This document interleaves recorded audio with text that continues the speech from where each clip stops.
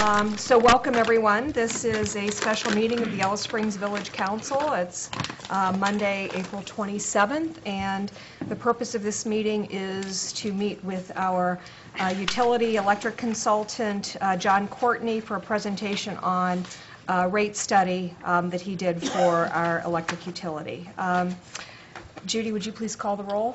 Yes, Wintrow, Here. Askeland, Yes. Simms, Here. Housh, Here. MacQueen. Here. Also present are Village Manager Patty Bates, Assistant Village Manager John Young, I'm sorry, had a Never blank moment, and um, Supervisor Electric and Water Distribution Johnny Burns. Okay, and everyone, I'm not sure exactly, um, obviously, he has a PowerPoint. I- I'm thinking that maybe we can do, how do you feel about questions as you're presenting? I mean, is it, because sometimes with these kind of in-depth things, it's a little bit easier to ask questions at the time. That's fine. Okay, well, we'll see how it goes. Um, Everybody just turn off your cell phones, I think that's probably the only warning we need. Oh, and our, our uh, station manager needs to turn off her cell phone, apparently. Um, So, John, welcome. Well, first, I'm going to move down to this end so I don't have my back to anyone and block the view of anyone, if that's okay with Or everybody. is the volume going to work? Oh, I'm sorry. I think it will. Yeah, I mean, actually, he can don't have a probably use Judy's. Use Judy's, she won't be talking very much. There you go. Perfect. Um, And by the way, I- I- I've got, uh, All right, don't get your microphone, we'll start soon.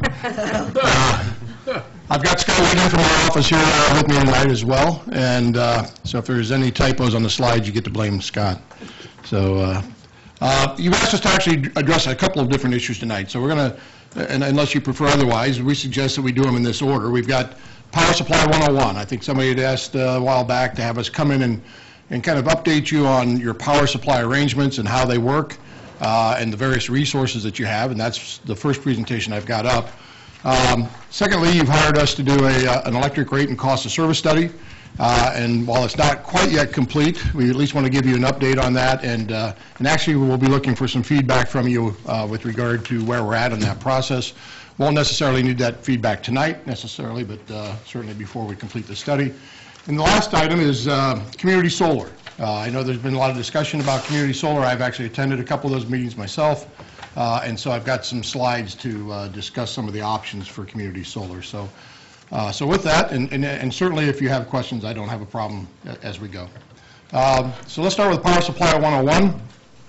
I always like to start off with uh, some abbreviations and and definitions, just so that everybody uh, is on the same page, because this industry that that we work in is uh, is known for its acronyms and uh, and abbreviations. So, uh, and the first one up there, both alphabetically, but probably one of the most important in your power supply is American Municipal Power, or referred to as AMP. AMP is a, uh, now a regional power supply agency that represents uh, publicly owned electric utilities throughout uh, uh, a large portion of the Midwest, actually all the way to the East Coast, to Delaware. Um, They actually have members now. So um, when I started in this business back in, geez, 1981, uh, they had about, uh, oh, 50 or 60 members. They're now at 130-plus uh, members. And basically, AMP manages your power supply arrangements for you, uh, as I'll I'll explain a little bit later. Uh, But as I said, they're probably one of the, one of the most important items on this list. Uh, WASG, or what we call the Western AMP Service Group, is a group of municipalities like yourself that have their own electric utility that are connected to Dayton Power and Light. Um, uh, Basically, the- and again, I'll explain a little bit later, you've got a pooling arrangement that you, uh, with AMP that includes all of those. Uh, And those would be towns like Tipp City, uh, to the north of you, um, Celina, Piqua, um, you know, Eldorado, you know, I mean, get pretty small, Arcanum. Uh, So those are some of the other communities that are part of that Western uh, AMP service group. Uh, DP&L, obviously, is Dayton Power and Light. Uh, That's the utility that you're physically connected to, uh, and you receive your power over Dayton Power and Light's uh, transmission and distribution system. Uh, RTO is basically what's referred to as a regional transmission organization, and about a decade or, better than a decade ago now, um, we've had, the- prior to that, the control of the transmission grid was basically done independently by each utility that owned transmission facilities. So Dayton Power and Light operated their own transmission grid, Uh, AEP, for example, it used to be Ohio Power, and Columbus Southern, separate companies, had their own transmission grid. The companies to the northern part of the state, like Toledo Edison, Cleveland Electric Illuminating, Ohio Edison, all operated kind of independently, uh, as well as utilities in other states.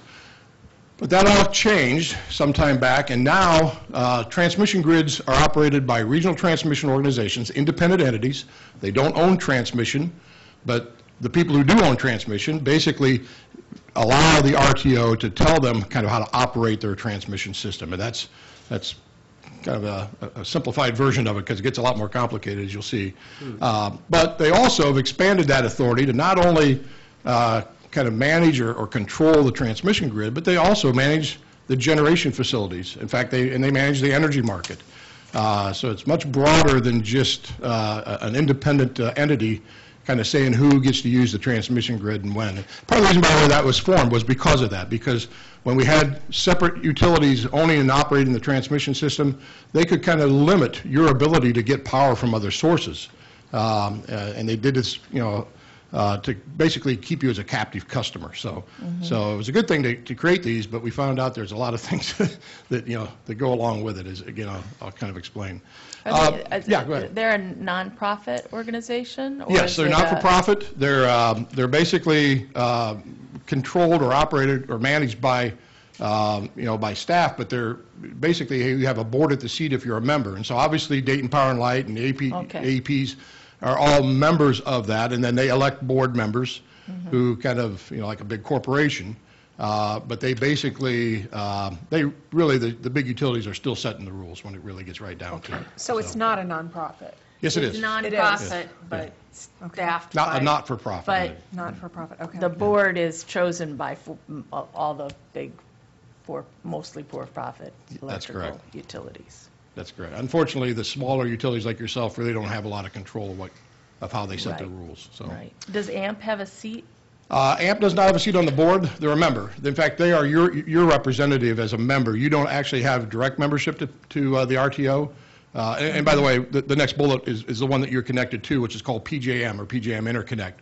Uh, That's who Dayton Power and Light's transmission system is, is in, the PJM Interconnect. And so by default, since you're connected to DP&L, you're connected to uh, PJM, and they, and you operate basically uh, under their rules, so. And maybe just to be clear, I think most people here know, but people out there might not know that AMP is a not-for-profit uh, cooperative. It's like an energy co-op. Um, It's helpful for people to realize that. Yeah, it's a good point. I, I kind of skipped over that, but yeah, they are not-for-profit as well. They represent you.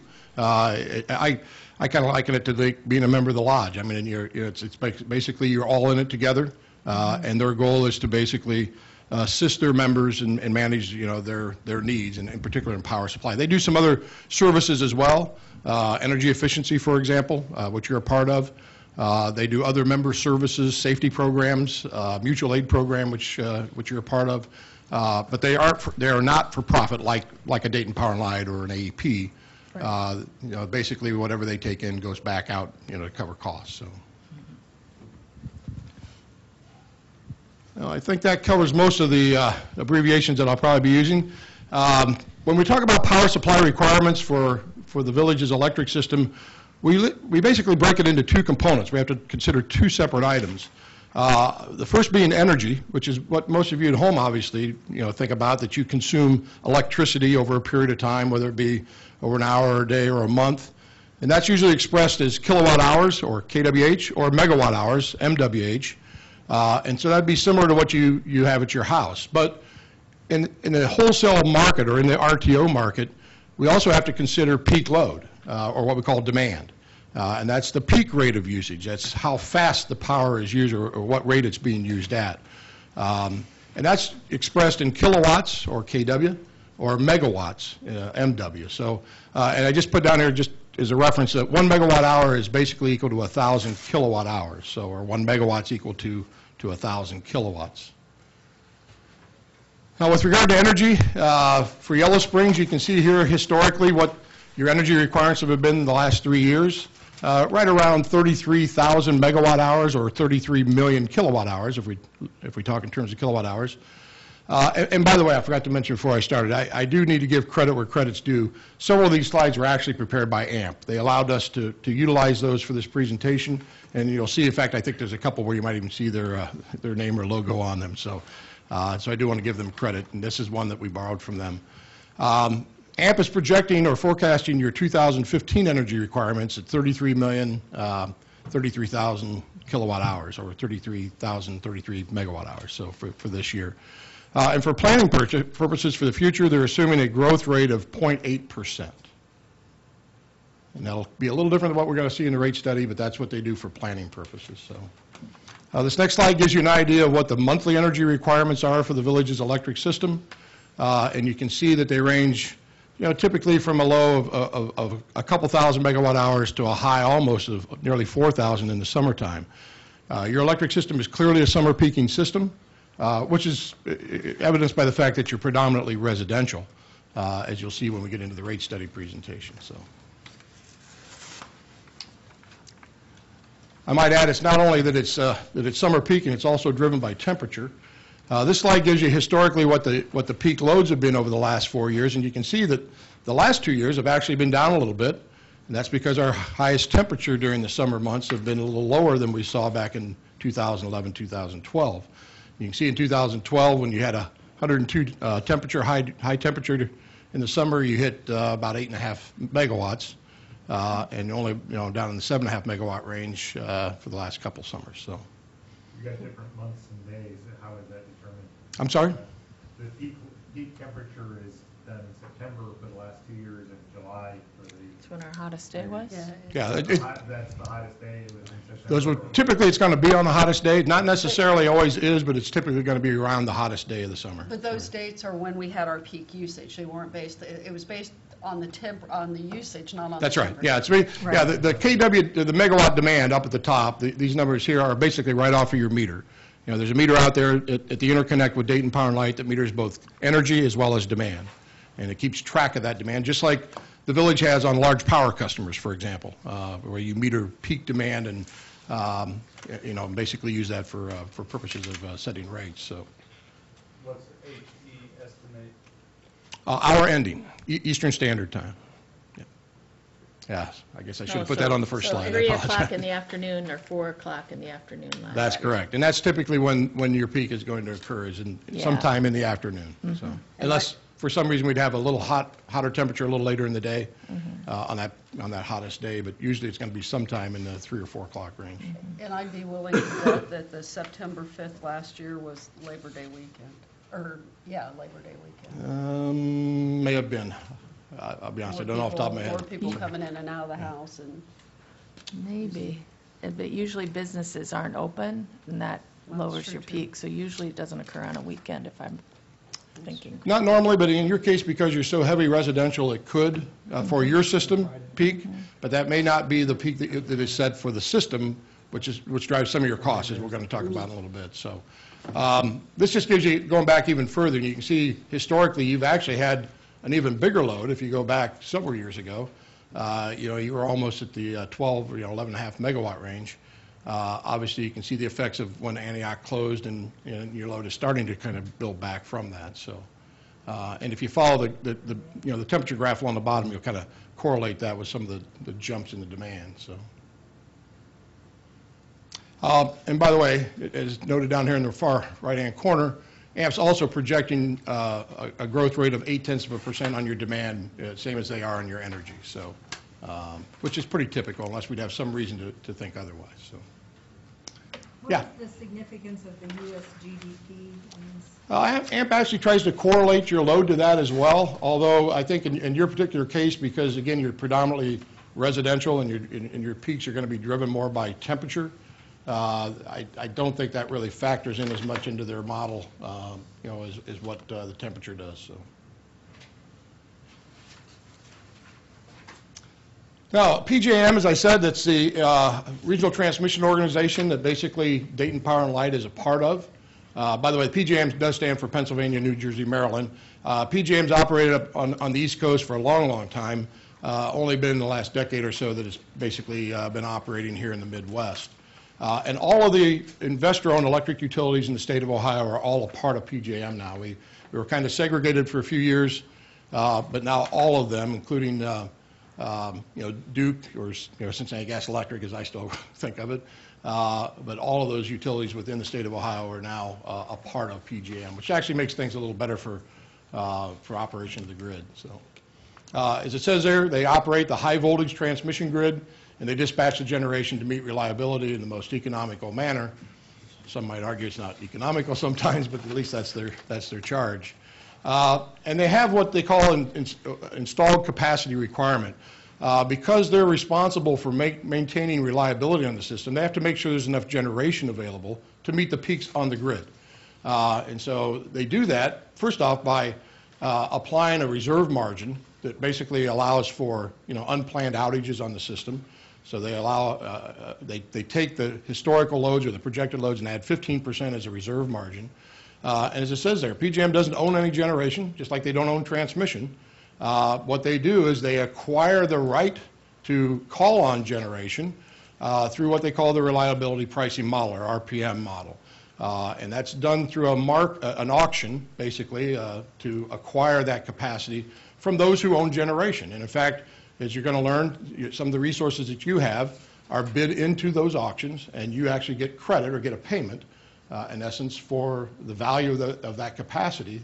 Uh, AMP kind of manages that for you, but, uh, so if you're a generator owner, you basically can get compensated for making your generation available to PJM to call on uh, if need be during, uh, during peak periods, so.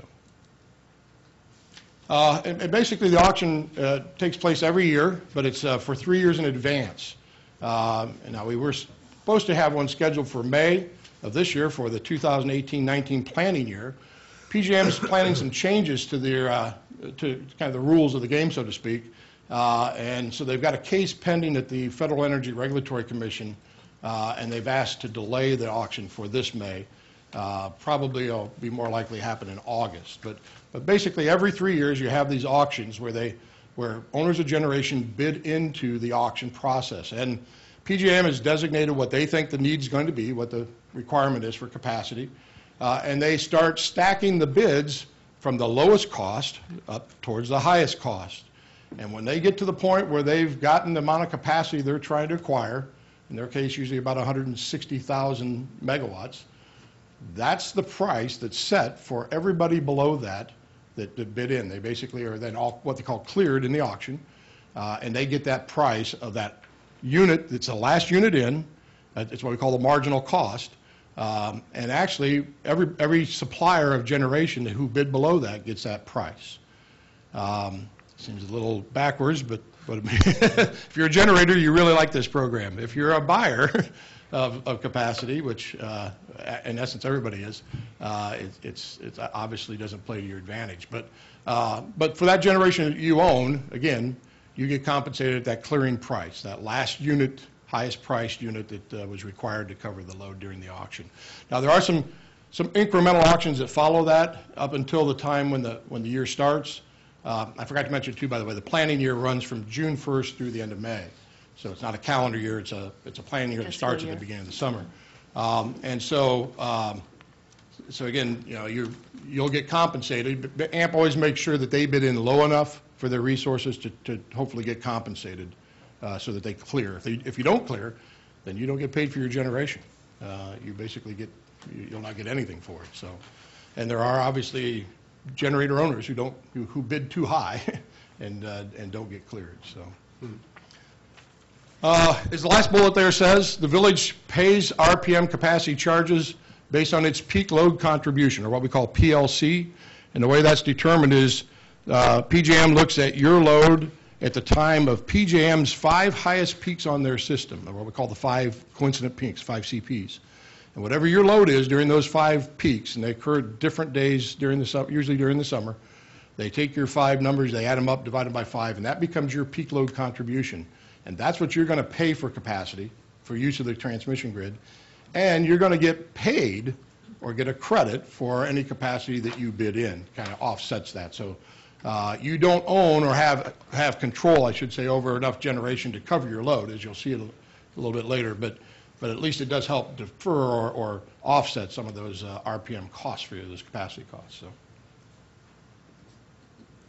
Uh, And this gives you an idea of what those prices have looked like, the clearing prices over the last several years and and and the auctions that took place. Uh, You can see for this year coming up, the 15-16, the price is about $4.09, and that's a kilowatt month. Uh, That's not, that would relate to about um, eight tenths of a cent per kilowatt hour, or or eight mils per per uh, uh, per kilowatt hour. So, um, and you can see that that number is going to drop, you know, down to about $1.80 per kilowatt month uh, for the next planning year. Again, we know these numbers, they're already bid, the auctions are pretty much done. We've got some incremental auctions, but they don't change much. And then 17, 18, they're going to jump back up to 365.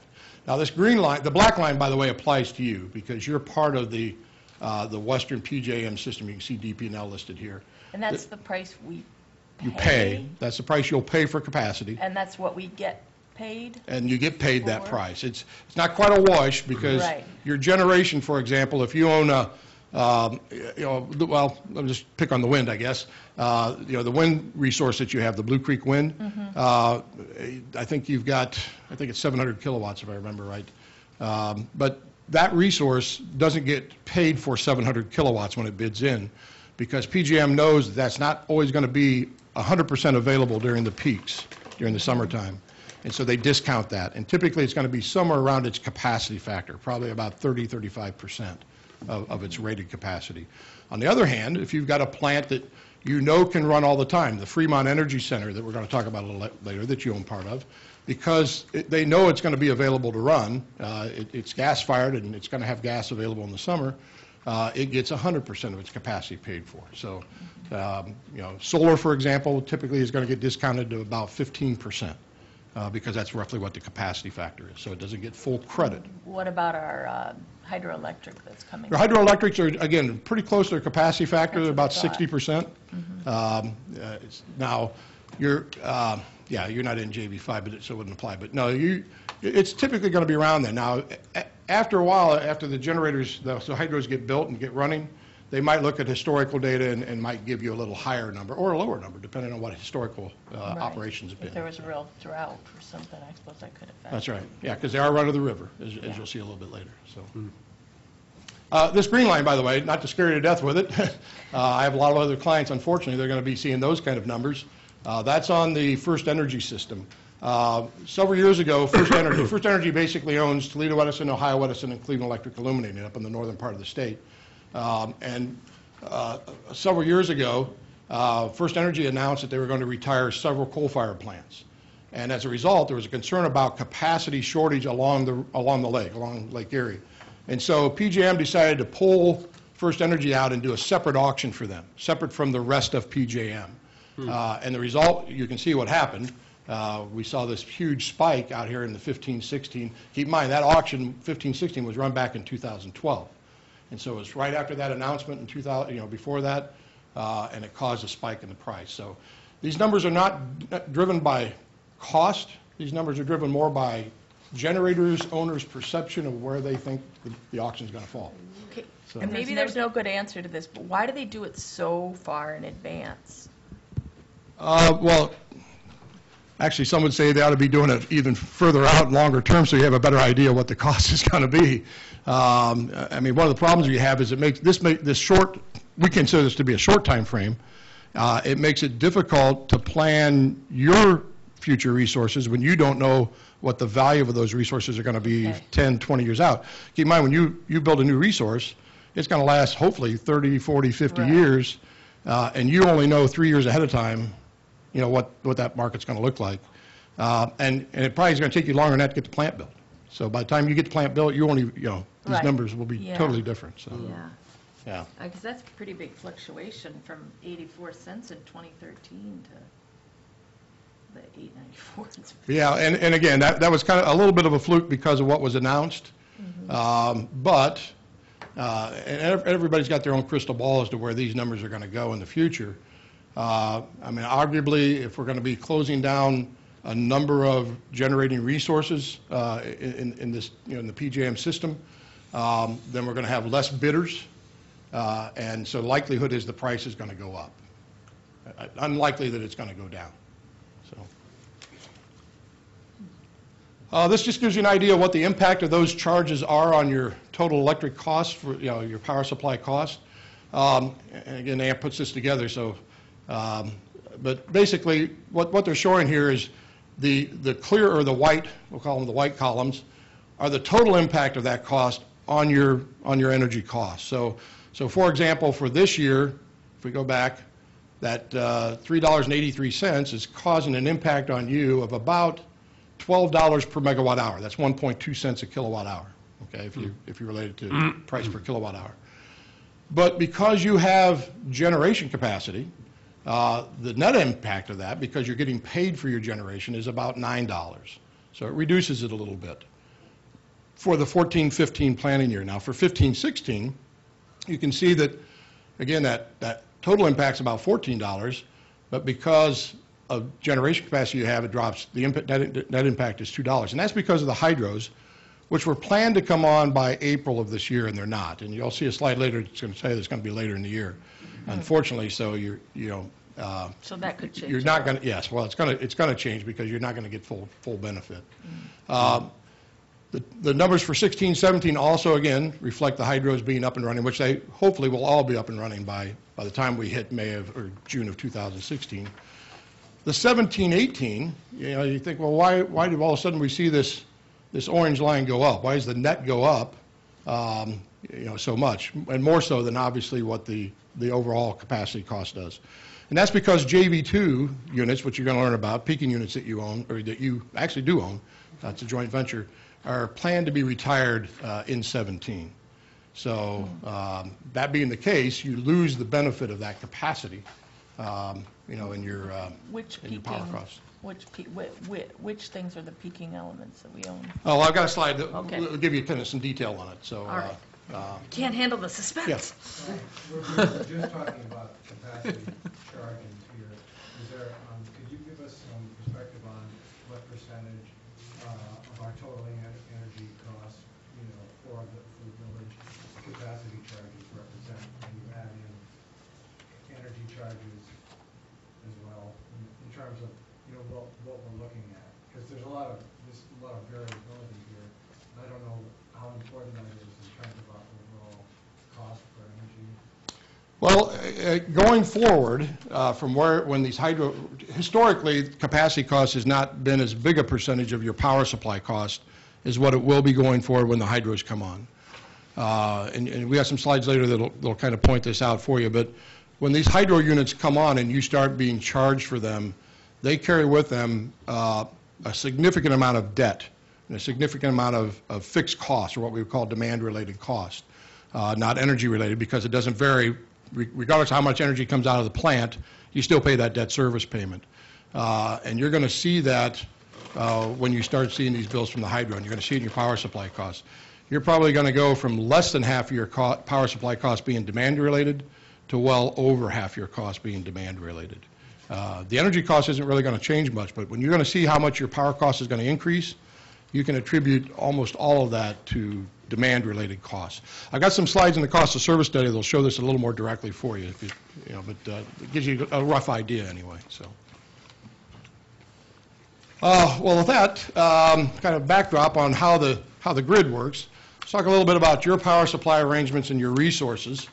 Um, Your power, as I said before, you're a part of what's called the WASG pool with AMP, uh, you know, a group of the community, of municipal electric systems all connected to Dayton Power and Light. Uh, And you have what we call a portfolio of resources, and we're going to walk you through each of those so you kind of know what you've got and, and how they work. Um, And so in this pool, you have what's called non-pool resources and pool resources, or pool power. Your non-pool resources, your non-pool power are the things that you basically decided you- you- that you wanted to be a part of, that you made that decision and selected those yourself. And so that's going to be things like the hydros uh, that we talked about, uh, things like the Fremont Energy Center, um, you know, the Blue Creek, uh, you know, wind, uh, you know, the the landfill gas, you know, those types of projects. Everything above those resources is, comes from the pool, what we call pool power. Uh, I'll have some slides back here that'll show you kind of how that works. But what AMP does is they monitor the load, the meter, actual metering points of all of the members of the pool, uh, and they schedule the resources to meet the load requirements. Now, it's a little bit of a misnomer in that um, actually so- some of the resources actually get dispatched, like Fremont. Uh, Fremont's actually dispatched by PJM based on on the market, based on economics. But your hydros basically are, are, are gonna, you know, run, when they come on, will be run of the river. Um, Your NYPA power is basically a scheduled resource, it doesn't uh, get driven by economics.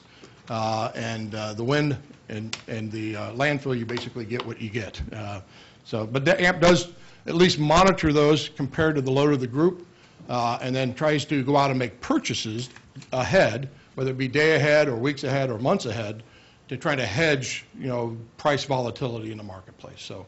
um, And AMP operates a number of pools this way. They've been doing these pools, geez, I think the first ones we did were like, back- in 89. So uh, they've got a lot of experience with, with operating and managing these, these power pools, so. Um, This slide gives you a breakdown of your resources, and I, I went with the 2017 only because uh, that's the year that you basically have all these resources available to you. As I said, JV2 sometime in 2017 will probably get, well, could get retired. That'll all depend on, more on environmental issues at this point, but at least uh, for planning purposes, that's what AMP is anticipating, uh, is that we will not have JV2 after the peaks of 17. Um, You've got, kind of going down the list, you got 300 kilowatts of the Blue Creek Wind, I think I said 700, I had them backwards with the landfill. Um, You've got 30 333 kilowatts, uh, uh, by the way, uh, I've got a slide and we'll go through more detail of each of these for you. Uh, 333 kilowatts from NYPA, that's the New York Power Authority hydro plants that are up uh, uh, off off the Niagara Falls and St. Lawrence River. Um, 580 kilowatts of what's called uh, AFEC, or the AMP Fremont Energy Center, that's a gas-fired plant up, in- up by Fremont, Ohio. 700 kilowatts of landfill gas, um, and that's, that's a nice resource, it runs all the time, pretty much. Uh, You get it uh, pretty much around the clock. Uh, 799 kilowatts that you will be getting, uh, once it's up and running, from the AMP Hydro 1 projects, Uh, and there's three separate hydro projects involved there. We talked about the Omega JV2, 1,408 kilowatts participation in that project, and that is actually ownership, unlike the other ones, which are more power purchase agreements where, you know, AMP has gone out and contracted for, for example, for Blue Creek and landfill gas, uh, or Fremont, which it owns. Um, But JV5, or JV2, excuse me, you actually own jointly with other communities um, in Ohio. And what kind of power, how does that produce electricity? That's natural gas-fired peaking unit. It's actually a combined cycle. I'll I'll get some slides that'll get into some detail on that for you. Um, And then the last one there is the 2,717 kilowatts of what we call AMP Hydro 2, um, and uh, which, obviously, that combined with AMP Hydro 1, which are still not online, uh, certainly will be by 17, I would hope, but uh, should be before uh, uh, 16 or in 16, uh, is basically your current portfolio of uh, of existing resources. Now, as I said before, uh, all the pool resources then uh, are are basically selected by AMP and the pool members. And those are typically short-term purchases. I- I I mentioned hourly or weekly or daily, uh, or daily or weekly. They also do up to one year. Uh, And AMP actually has authority under your pool contract to make one-year, pur- up to one-year purchases without approval of the pool, but they never do it. Uh, In fact, we've got a pool meeting coming up next week where AMP is going to be making some recommendations on buying replacement energy for the hydro projects because they didn't come on in April, and so they're going to have some recommendations on the pool buying power to make up for that shortfall that everybody will have from the uh, hydros uh, being deferred, so, or being delayed, so. Uh, Like I said, I've got some slides here. Again, AMP put these, I think this is the one I, I forgot to uh, pull their logo off of, so we'll give them some credit. Uh, These slides basically are prepared by AMP. So um, the Blue Creek Wind Project basically is located, you kind of see on the location map over in Van Wert County. Uh, It's, uh, if you've ever been by there, I mean, it's, you see Winter about as far as you can see. Uh, The the power for your particular, uh, or AMP's purchase, I should say, on your behalf, is from 152 turbines. Uh, They're owned by uh, a company called Iberdrola, actually a Spanish company, Uh, and that contract will run through December of 2022. Um, It's uh, got an expected load, or capacity factor uh, of 32%, uh, and it basically is, is like run of the river, it's run of the wind. You get your percentage share of whatever's produced uh, each hour. And if it produces zero, you get zero. If it's running at full output, you get your full share of whatever that output is, that full output, so. The no replacement, they don't, they don't make up the difference. No one, no one makes up the difference for it, that's correct. Uh, The members that are participants receive 50% of the renewable energy credits for that project uh, for the years 2013 through 2016, those were the first four years, and after that, they get 100%. Uh, So you basically are receiving or generating renewable energy credits associated with this project. Now, I know the question is going to get asked, uh, so I already called AMP to confirm, uh, and you are not selling your Blue Creek Wind RECs for 2014 and, two- or 2015 and 14. They- They kind of sell them after the fact. Uh, And AMP, by the way, even though I I know if you read the contract, the way it reads, it says that AMP can sell those on your behalf and monetize them, it's the the word they use, and you can get cash for them. But AMP doesn't do that without your permission. Every community is given the opportunity to say, yes, I want to sell my RECs, or no, I don't want to sell my RECs. Uh, And that's an individual decision that you make here, just like Tipp City would make, or, know, Eldorado would make. It- it- it Do they doesn't have to- typically come to just Johnny and the, the village manager, or do they, does Uh, that? would probably come to the village manager. How far in advance do they do that? Uh, Usually, they, they normally do, it. try to do a couple years at a time, uh, but it, it just depends on where the market's at. AMP has people on staff who track the market for renewable energy credits all the time, Uh, and so, and they have, they're a part of what's called uh, the Energy Authority, TEA, which is basically uh, uh, uh, energy supply advisor, so to speak, down in Florida, in Jacksonville, uh, that's created by municipal electric systems and, and and power supply agencies like AMP. Uh, And AMP's a part of that, and they have people on their staff that monitor this stuff all the time. So if they see uh, a trend starting to develop in RECs, uh, you know, they may contact AMP and say, hey, you might want to look at selling some, or, you know, uh, this may be a good opportunity to do that. So they don't just, it's not just willy-nilly. I mean, they actually monitor what's going on and try to get, maximize the, the, uh, uh, you know, the value for. So somewhere previously, the decision was made to not sell 14 and 15, but 16 is still out there, so they may, they'll come this year to ask about. Yes, and they may, they may actually come after the fact. Actually, recs are kind of, kind of interesting the way they work. Um, You can actually sell them after you've got them. Um, In fact, typically, it's- it's it's fairly common to sell them after you've got them, because if you sell them before you've got them, from a resource like this, you don't know for sure what you're going to have. And if you sell something you don't have, then you've got to go find it to make it available to the person who's paying you for them. So, and you may find them at a higher price than what you're getting. So, so usually if you're going to sell them, you sell them at, a- ahead, you sell them less than what you think you're going to have. Uh, And then what happens is, after the fact, if you had more, then you've got some available to sell backwards. And you can sell them backwards to people who need them for, to- for credit for 2015. Or, I mean, 16 is you could sell 15s and 16 for, for people who needed them in 15 after the fact. yeah. So can we, what would stop us from selling 14 and 15? Pardon? Why can't we sell 14 and 15? You chose not to. You were given that option, and the village uh, elected not to sell. Can we change that decision? Um, y- You might not be able to sell, you know, you might still be able to sell 14s. Uh, Certainly 15s, I think you can. Who And made that decision?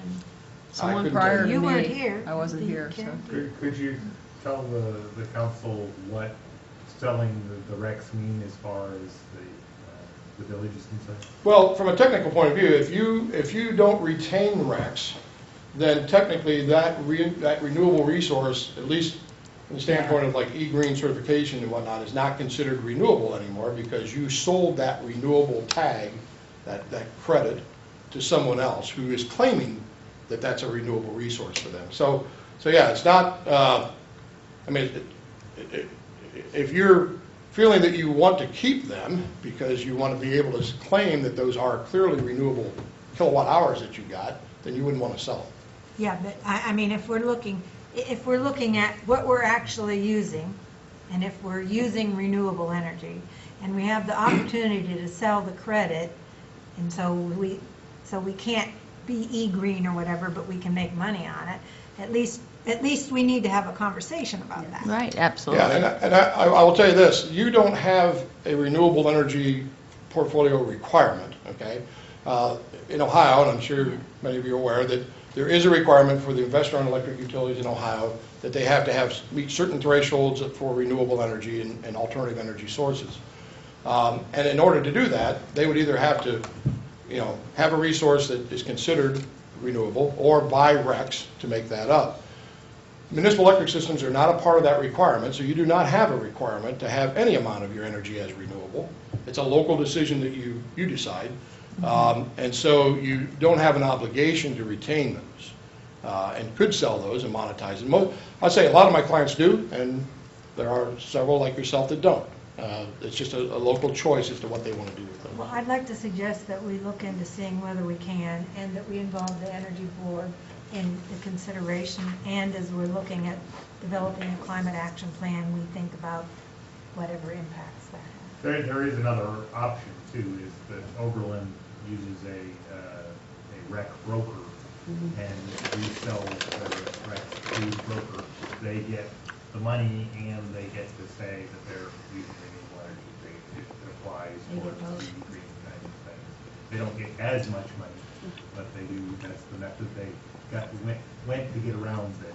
But they, they buy generic RECs back, right? Actually, they buy back. Right, right. They buy back cheap. So, They yeah. trade- They trade their high price, their high value RECs for low. Yeah, lower RECs. and they, yeah, and they buy generic back, so they can still claim to be Exactly. green. But if we sell all our recs, we cannot claim. But we know we're green. But we know we're investing in green Sure. energy. Which, which, which is, it, it all depends on whether you want to try to apply for any government, you know, subsidy, grants, things like that, that are aimed towards this direction. There are lots of, lots of money out there, but you can't say that you're green. And then be don't have the selling recs. green, okay. Okay. Good point. Um, I- And I've lost track of where I was at on the slide. Oh, the currently, uh, they're they're trading for around $12 a megawatt hour. One rec, by the way, is, is basically a megawatt hour, 1,000 kilowatt hours. So uh, for the Blue Creek Wind recs, they were trading at about $12 when I uh, last checked with AMP. Um, And uh, you do receive installed capacity credits. Um, uh, It's here, it's 13 to 15% credit for PJM, so it's a little less than what I, what I was telling you earlier. Um, But uh, again, that will vary based on historical data. So the more historical data they have, uh, they'll, PJM will adjust those numbers. So, but again, you don't get, you know, full credit for every kilowatt of capacity that you are participating in a wind project. You don't get paid that full capacity value from PJM. It gets discounted. Uh, Next resource was the uh, NYPA Power, the New York Power Authority. Again, uh, this power comes from the the two federal uh, hydro projects uh, uh, on the Niagara uh, Project and the St. Lawrence Project. It does not come from any of the non-renewable resources of NYPA, by the way. I know that question came up once before, uh, when I mentioned that you get power from NYPA and it's renewable, because NYPA is a a pretty big organization. They do operate some non-renewable resources, but none of the energy that you get comes from that. In fact, you specifically get power from these hydro resources because they were funded with government money, federal government money, and the money, and the, so the kilowatt hours get spread across to public entities across a, a number of states, but most of which abut the Great Lakes.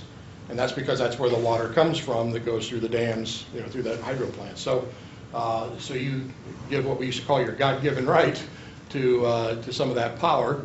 Uh, You can see there that it's, ba- the amount you get is based on the total number of residential meters that you had in 2002. So that number's not been updated for some time, um, but it could get reallocated in the future. Um, And they go through that every so often, they'll go through a new allocation. Um, Are there recs associated with, with uh, NYPA? Uh, no, you do not get RECs with NYPA. It was be- prior to all the green, e-green tags being created. Um, If you were a part of AMP's, um, what we call Omega JV5 hydro project, you would for that project. It was probably one of the first large hydro projects in the Midwest that, that that did qualify for, for RECs. Um, The, um, uh, the new hydro projects will be certified for RECs, so you will get RECs associated with the AMP Hydro 1 and AMP Hydro 2 projects so, for your proportionate share. Um, And it says there, you do get some interruptible power, but what, what I think is really kind of key on this, this slide, though, it's interesting with the power that comes from NYPA. You're probably wondering how you get power at a negative cost, but that actually does happen. Uh, The way the transmission grid works, when, uh, when you have a resource, for example, that's distant away from you, like this is, um, you get paid for putting that power into the grid at what's called the locational marginal price of Venergy, uh, at that location. And then you pay to take energy out over here, you know, on the Dayton Power and Light System. Um, And it turns out, because power traditionally runs west to east on the grid, you're actually reversing the flow. And so you're actually making money, you're actually getting paid to take this of power uh, to the tune of about a minus three cents a kilowatt hour, or a credit of three cents a kilowatt hour. Not a bad arrangement to have. It's- fortunate to be on this side of the dam, so to speak, upstream, uh, as opposed to downstream, where obviously it it works the other way, going the other direction. So, so yeah, that's not, that's not a misprint. Uh, There are months, in fact, where, it's what we call, if you see, if you look at like the fourth, third line down, it says net congestion losses. Uh, That's basically what happens. It's what we call congestion. And you're actually relieving congestion on the transmission system by moving this power from Niagara Falls to Ohio, and you actually get paid for that more than what it costs to buy that power. It's- I think it might also be important to note that this project is so old that it's paid off. Yeah, Absolutely. So that has a huge impact on it as well, but. yeah. As I, as I tell my clients, this, this is the, this is the cheapest resource you got. Uh, and while it doesn't get green tags, it is renewable. Uh, the ba- the sad part is, you can't get any more than what they tell you you're allowed to get. So you'd love to get a lot more of it, but unfortunately, you're limited to what, you know, what your allocation is based on how big you are, so. Uh, Next resource is that Fremont Energy Center that was asked uh, about down uh, earlier. Uh, Again, this is a natural gas combined cycle unit. Uh, It's basically, uh, when we say combined cycle, it means it's got gas turbines that are fired initially, it's what we call the intermediate capacity. And then it has what's called duct firing capability, where it can, it has a steam boiler on the back, and it can add more gas and create more energy. Uh, And you can see it's about 512 megawatts of intermediate capacity, about 163 of the of the peaking. Um, Came online back in January 2012, uh, and it has been running a fair amount. In fact, it was anticipated to run at about 40 to 50 percent capacity factor, and there are several months where it's been running in excess of 50. Uh, It's all driven by, as I said earlier, it's all driven by the economics of the market. So when this, when this plant can generate kilowatt hours cheaper than the market it's going to run and sell into the market, uh, if, if its cost of of operation, or, you know, the the price to, to generate the electricity out of it is higher than the market, then it won't run. Uh, And uh, so it does- it'll get cycled up usually during the on-peak periods, and back down, uh, you know, at night. And that's the way it's designed to operate, so. Uh, But it is natural gas fired. Um, It does get capacity credits. um, And in fact, it gets full capacity credits because it's pretty, pretty much anticipated that it'll be available on demand, so. Uh, Next one is the EDI landfill gas project. Um, And you can see that this basically consists of uh, almost 54 megawatts of capacity, uh, located at three different landfills around the northern part of the state, the one in Ottawa County, one in Lorain County, and one over in uh, Mahoning County, uh, the carbon limestone landfill. Um, EDI operates a number of these types of facilities, by the way, throughout the country. Uh, So this is something that they, uh, you know, they're pretty good at. Uh, You get this at 100% load factor. Does include replacement arrangement, but it, they don't have to do a lot of replacement. It runs pretty much flat out all the time. And if you're not familiar with landfill gas, by the way, uh, you know, landfills, when they're capped, uh, you know, the the the degradation of what's in the landfill turns into methane gas. And that methane gas has to be something done with it, uh, or it'll just build up pressure over time and create problems, getting, getting groundwater and, and other problems. So typically, what we've done in the past is burned it off, or flare, what we call flare. Uh, so that you go by a landfill and you'll see a big, you know, uh, flume of uh, fire a lot of times at the flare. Uh, well, over the years, they figured out a way to capture that gas, clean it up, because it is fairly dirty, uh, but they clean it up and they put it through normally, uh, you know, look like a diesel engine generator set, um, and uh, basically generate electricity. Now, there's still a little bit of emission from it, but it is still considered to be a renewable resource and does does generate RECs. Um, This one, the RECs ran out in 2013, I believe, um, and uh, so you're no longer getting RECs associated with this one, so, yeah. Well, it wouldn't be an endless supply. It, it, it- it's, In one- it's not necessarily endless, but if you, if you size it right, they tell me that if you size it correctly and don't oversize it, uh, it can become somewhat perpetual. Uh, Because You if mean you, size the, the generator to Generating. match what's being, gen- what gas is being created every year, so that you don't overuse the gas. But, but you're right, they have, usually have a limited life. Uh, AMP is in the second 10-year contract, though, for these, for these. And so, uh, it, it- it's just a matter of how you, how you match the size of the, of the generators to the available gas that's coming from landfill. As I understand as well, I'm no landfill gas expert by any means. I got a couple clients that we, we assisted them in negotiating individual contracts um, where they thought they were going to have them put in and they never came to fruition. So I learned a lot about it, but I don't claim to be an expert. But, uh, but what I've been told is if you size it small enough, uh, it- where you don't consume more than what's being created every year, it can be somewhat perpetual. I mean, you might get, you know, 30 years or more out of it, so. And are there more? Are these the only ones in the state, or are there? No, no, there are others throughout the state. These are the ones that AMP has a contract with, uh, with EDI. So, now whether this will get renewed or not at the end of this 10-year term, uh, this runs through 2021, I don't know. Uh, Again, this is in the second 10-year term of, of a contract that uh, AMP had initially, so. Uh, Now we're into the AMP Hydro projects. Uh, AMP Hydro 1 uh, basically consists of, of three different hydro uh, projects at existing lock and dams on the Ohio River. Uh, The Smithland, the Cannelton, and the Willow Island uh, projects. And by the way, you see that notation there behind Smithland and Cannelton, it says MISO, M-I-S-O? That's the Midwest ISO. That's the, kind of the counterpart to PJM in the Midwest. Uh, And so those plants are not directly connected to the grid, you know, to the PJM interconnect. Not a big deal, uh, just means that uh, you have to kind of, you know, you bid into MISO's auction. You can actually bid them into PJM, but then you've got to pay a a price to get it moved across uh, from MISO to PJM, so. um, But none of these units are up and running yet. Uh, They were anticipated, at least uh, Smithland and Cannelton, to start in April of this year. Now we're being told it's more likely going to be around September. Um, You know, there were some delays that weren't anticipated, so. Uh, And the Willow Island is is really, was planned to start in June, and again, uh, we're not going to see that in June as well, it's probably going to be later in the year.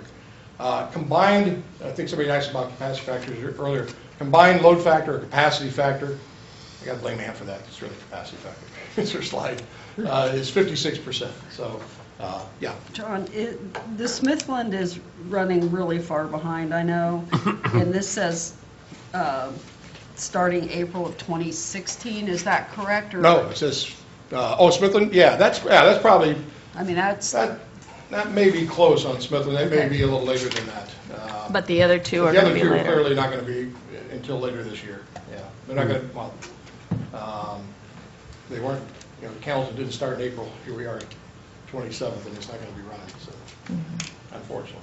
And as I said before, and we'll talk a little bit about it, they, they're basically looking to buy replacement energy to make up that shortfall for you, so. Um, We talked a little bit about the JV2 peaking units before. Um, Basically consists of uh, 35, what we, what I call cats in a box, uh, diesel units. They're 1,800 kilowatt units. Uh, And you can see those in that middle picture. I know it's kind of small. Uh, You can see a grouping here of uh, three of those units. Uh, They're basically in a semi-trailer box. Uh, They come all pre-set up and everything, and you just set them down uh, and uh, more or less hook them up to a fuel source, hook them up to the electric system, and start generating. There are also two 32 megawatt gas turbines.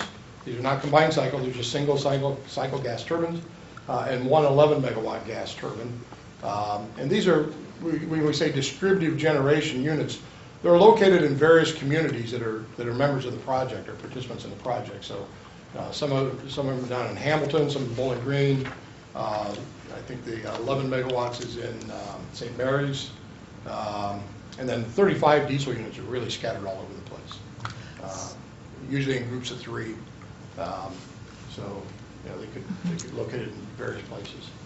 Um, As I said there too, the JV units are to be retired sometime probably in 2017, and that's primarily because of environmental issues. Now, they, they are doing some work on those units to make them comply with what we call the RICE-NESHAP rules, if you're familiar with those at all, uh, reciprocating engine uh, uh, emission requirements, so that they can continue to bid them in and get paid for capacity.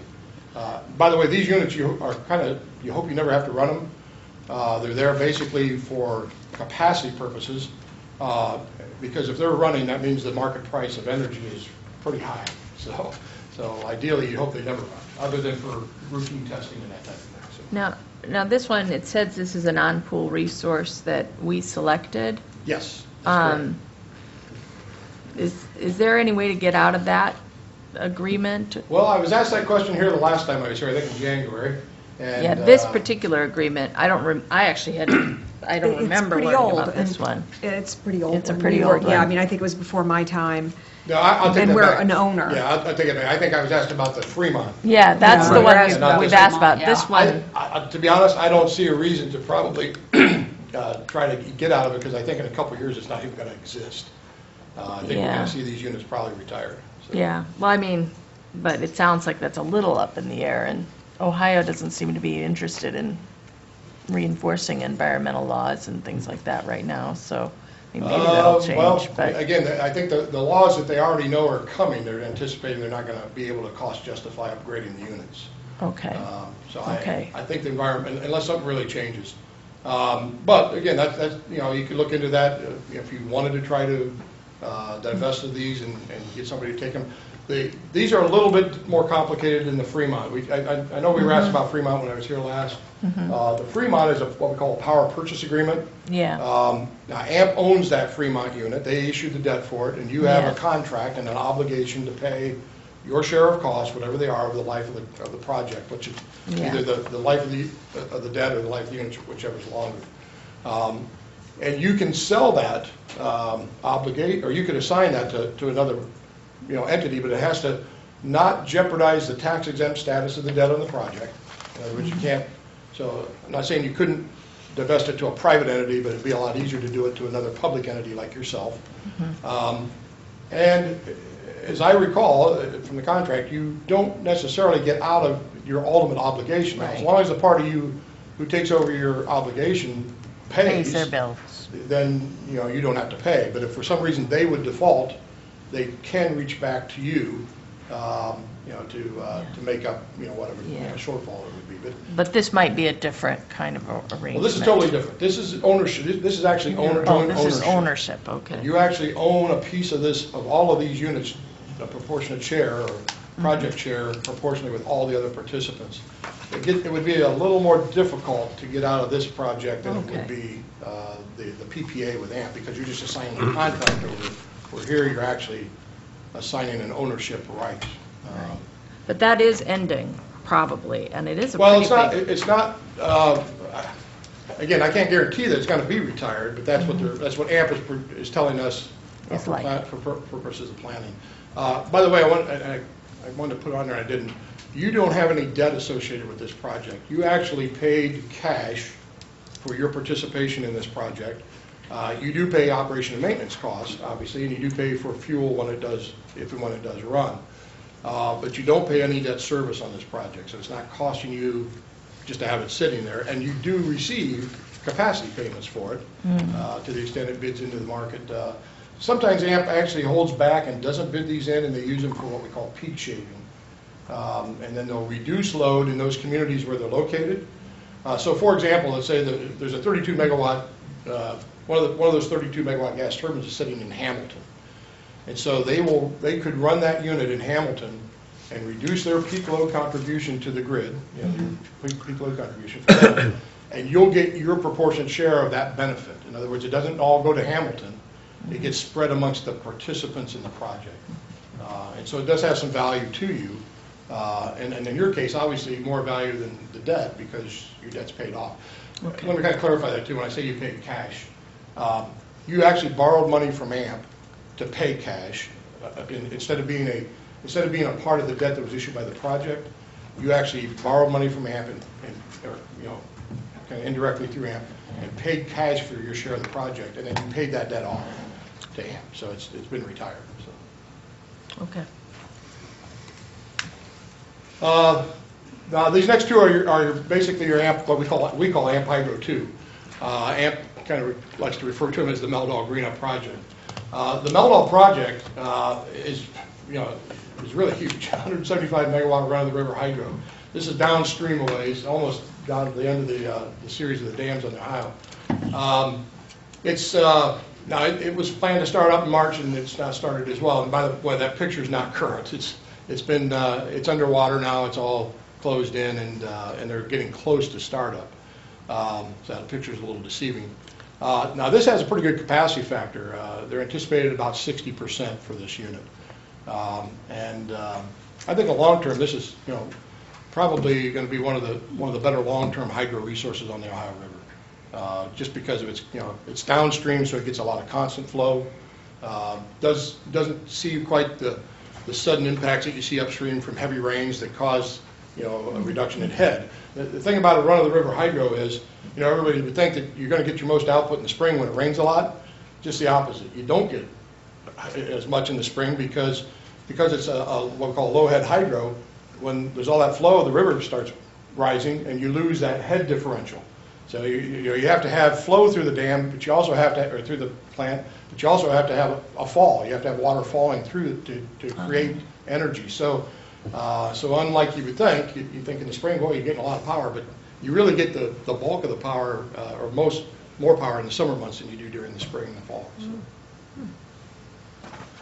So. Um, Along with the Meldahl, and it's kind of part and parcel to the project, Ham- the city of Hamilton actually owns this Greenup project. It's been around for a long time. Um, And uh, in fact, I was working uh, with another firm back there. That was back in the mid-'80s when this plant got built, like '86. It's actually built originally by a little town called Vanceburg, Kentucky. Uh, And Hamilton was responsible for uh, like 110% of the cost, and they only got like 90% of the output. Uh, Long story short, they ended up suing Vanceburg and taking over the plant. Uh, My, the firm I worked for worked for Hamilton, fortunately. Um, But uh, it's a part of this project. Meldahl, the Meldahl license to, to develop the Meldahl plant was held by the city of Hamilton. And so they negotiated with AMP an arrangement where, uh, you know, they basically gave or assigned to AMP the Meldahl license to develop that project. And then AMP agrees to take over roughly half of the ownership of Greenup. Uh, And so, and, and Hamilton is going to own half of Meldahl. So basically what Hamilton's doing is, is trading half of an existing plant for half of a new plant. Uh, AMP ends up with the license and and the ability to develop the Meldahl project in exchange for taking half of the Greenup plant. Um, But even with that, I think it's still going to turn out to be a, a pretty good combination. Uh, You can see this plant has a much lower capacity factor, about 46, uh, uh, 46%. Um, And um, you can see it's a little bit smaller too, so.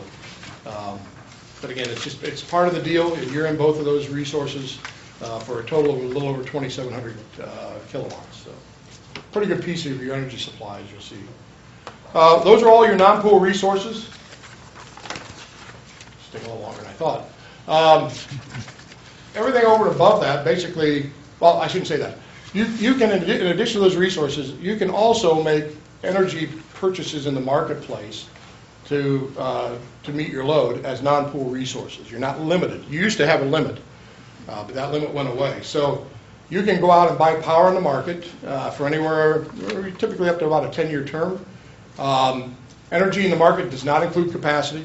It's just a, it's, it's basically a commodity traded market. It's, uh, um, and your counterparties, as you can see, are typically going to be utilities, people like AEP, First Energy, um, or financial institutions, banks uh, are pretty prominent in this uh, energy market. Um, One of the downsides is, though, you do have to have cash available to collateralize the purchase.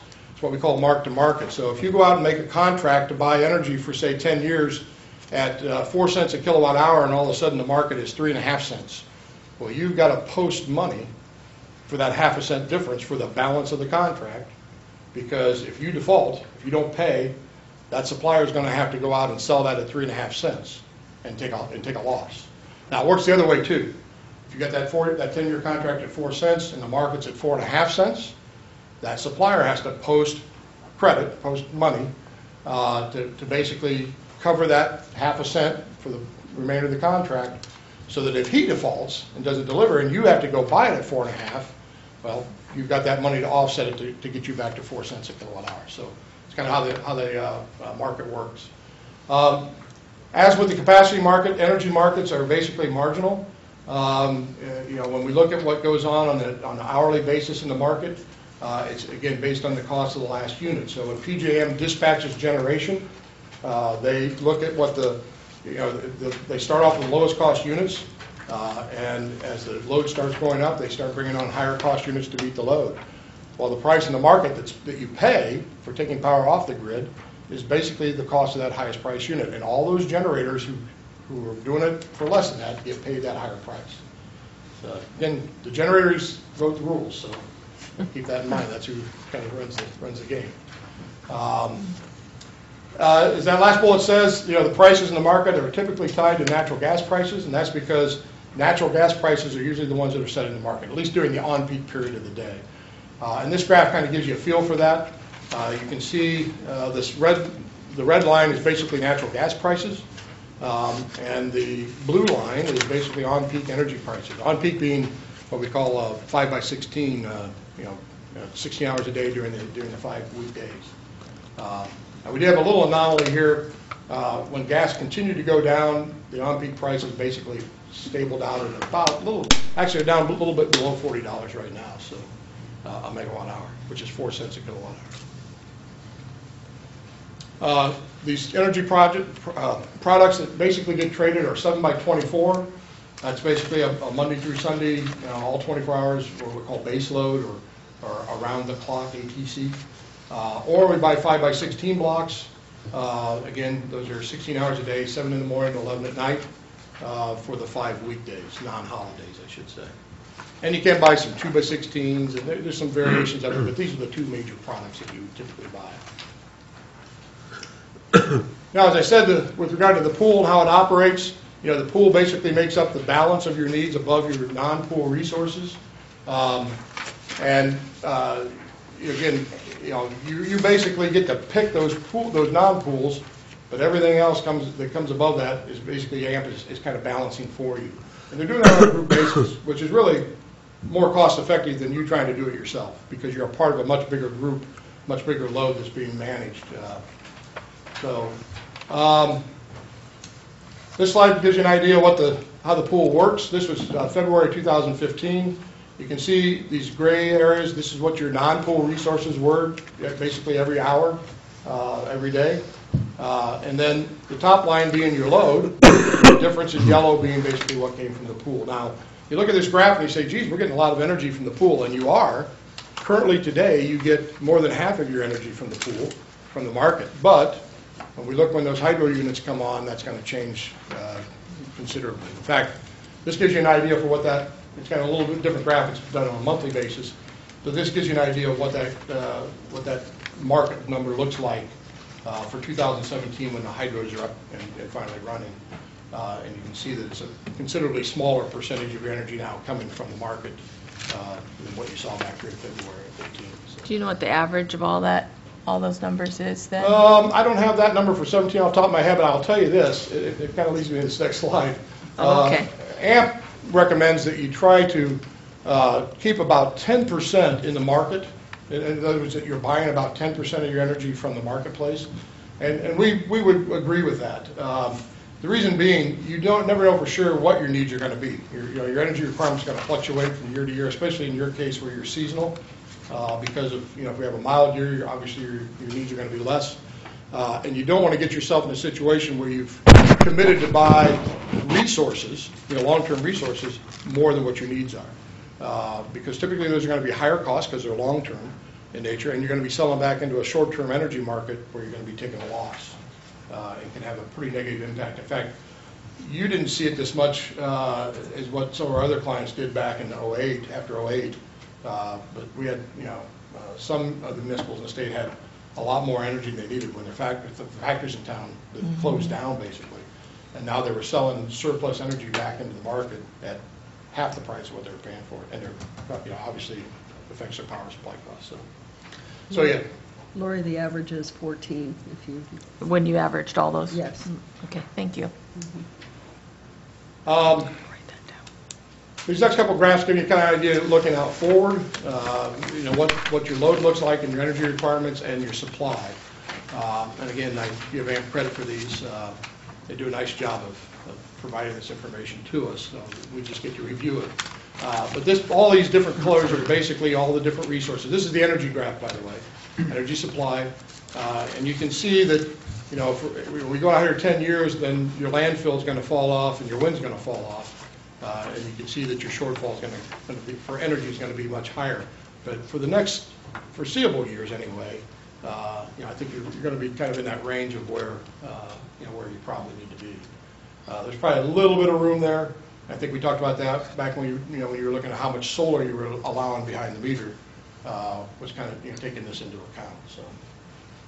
Uh, On the capacity side, you can see this black line is your projected load, um, and the green line is adding on that 15% reserve margin that uh, PJM requires.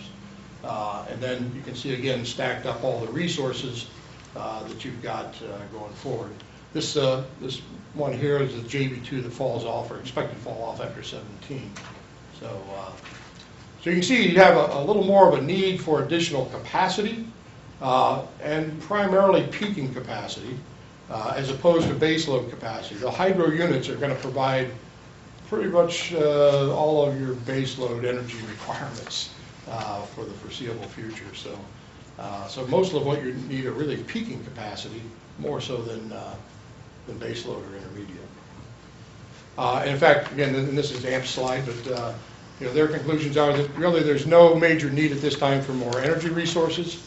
Um, And for capacity, um, you know, you know, again, the peaking projects uh, are really probably your biggest need, and and that would be things like solar or gas-fired peaking units, which are uh, fairly cost-effective for peaking capacity, so. And I think this last slide, and I- I debated whether to put this in here, but you're going to see it in the next presentation anyway. Um, You'll see these numbers again, but this gives you an idea somewhat of what the impact of the hydro plants are going to have on your overall power supply costs. Over the last several years, in fact, um, you know, back in 2013, your power cost was just over 5 cents a kilowatt hour, um, and uh, last year about 5.5 cents. AMP's projecting that this year at 8.7. The good news is the hydros have not come on yet, so you're probably not going to reach this number this year. Uh, But once they do come on, you're going to see a a pretty good jump in power costs. And again, you can see the overall uh, effect. The nice thing about the hydros are, once you get there, you're going to have fairly stable costs because it's 90% debt. And that debt's not going to change for the life of that debt. Um, Ideally, it could come down in the future possibly, if you could refinance and and take advantage of it, so. But that gives you kind of a feel for, you know, where your power supply costs are going to be going in the future, so. And I think I'm down to the end of this, uh, hopefully, this presentation.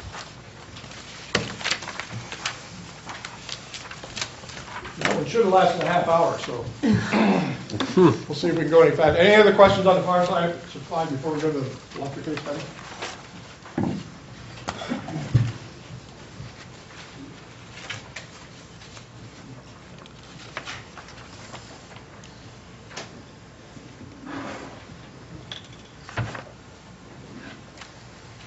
Hopefully this will work.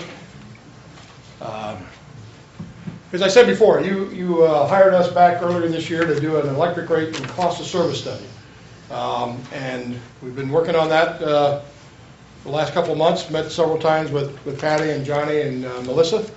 Um, And uh, as I said earlier, it's not complete, as you'll see, uh, but at least we've got enough to show you where we're at, and, and again, we'll need some feedback from you, uh, really before we move into this, the next step of the study. The scope of services for the study basically break into these four steps. Uh, First is what we call the revenue requirement analysis. It's where we're going to project your revenues and project your expenses uh, to see if you're getting enough revenue to cover those expenses.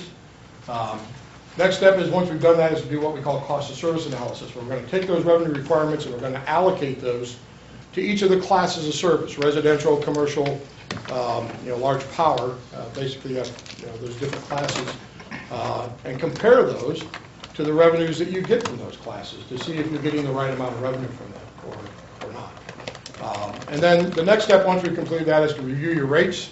Um, And those are the three steps that we basically have gotten through so far. Uh, Then the last step is to develop new rates to the extent that there, you need to develop new rates. Um, So uh, that would be completed uh, at a later date. Um, With regard to the revenue requirement analysis, it basically breaks into these five steps. Uh, First, we need to project energy sales, and the reason for that is energy sales drive everything else. They drive power supply requirements and cost, they drive revenues at current rates, Uh, And so that's the starting, always the starting point for us.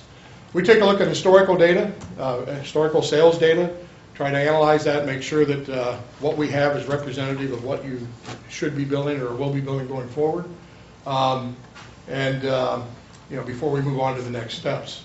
Um, Once we got the energy sales projected, again, we project power supply requirements and costs. Um, The power supply requirement side is tied to our energy sales projection. The cost actually comes from AMP. I'll be honest, I, do these pool projections and all these costs of all these different resources is not something that you want to pay me to do. Uh, AMP does that for us, does that for you, and provides it to us, and we build that into our projection, so.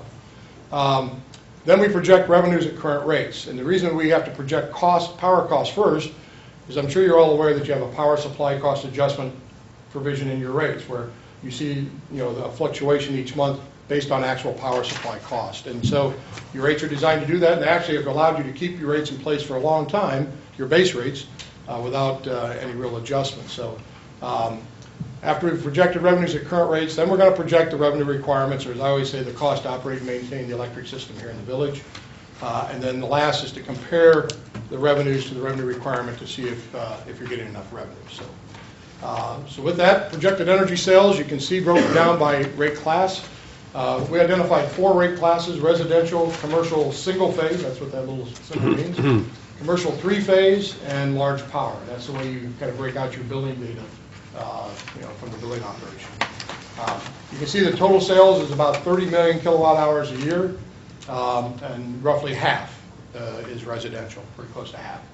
Um, Now, for purposes of this study, we've assumed no increase uh, in sales. Uh, And typically, when we do a rate study, that's what we're going to assume. Try to be conservative. Uh, Obviously, if you have, it, and if- if noted before, AMP's projecting, you know, eight tenths of a percent growth, but that's for planning purposes. And obviously, for planning, it's a little different than when you're setting rates, because if I assume that your, your sales are going to grow at eight tenths of a percent, or one percent, or two percent a year, and they don't, well, then you're probably not going to end up with the revenue that I thought you were going to have. Um, And so, to be conservative, we use a zero percent growth rate, uh, unless there's something that we can point to to say, no, we see something that's going on, and and we'll make that adjustment. In particular, we did, in the case of your large power class, uh, we reduced the sales to Antioch College because of the installation of their solar project. So if you look historically at the data, um, it was, uh, you know, about a million and a half, million three kilowatt hours higher for the large power class than what we've got projected going forward. Who Because else do we have in that class?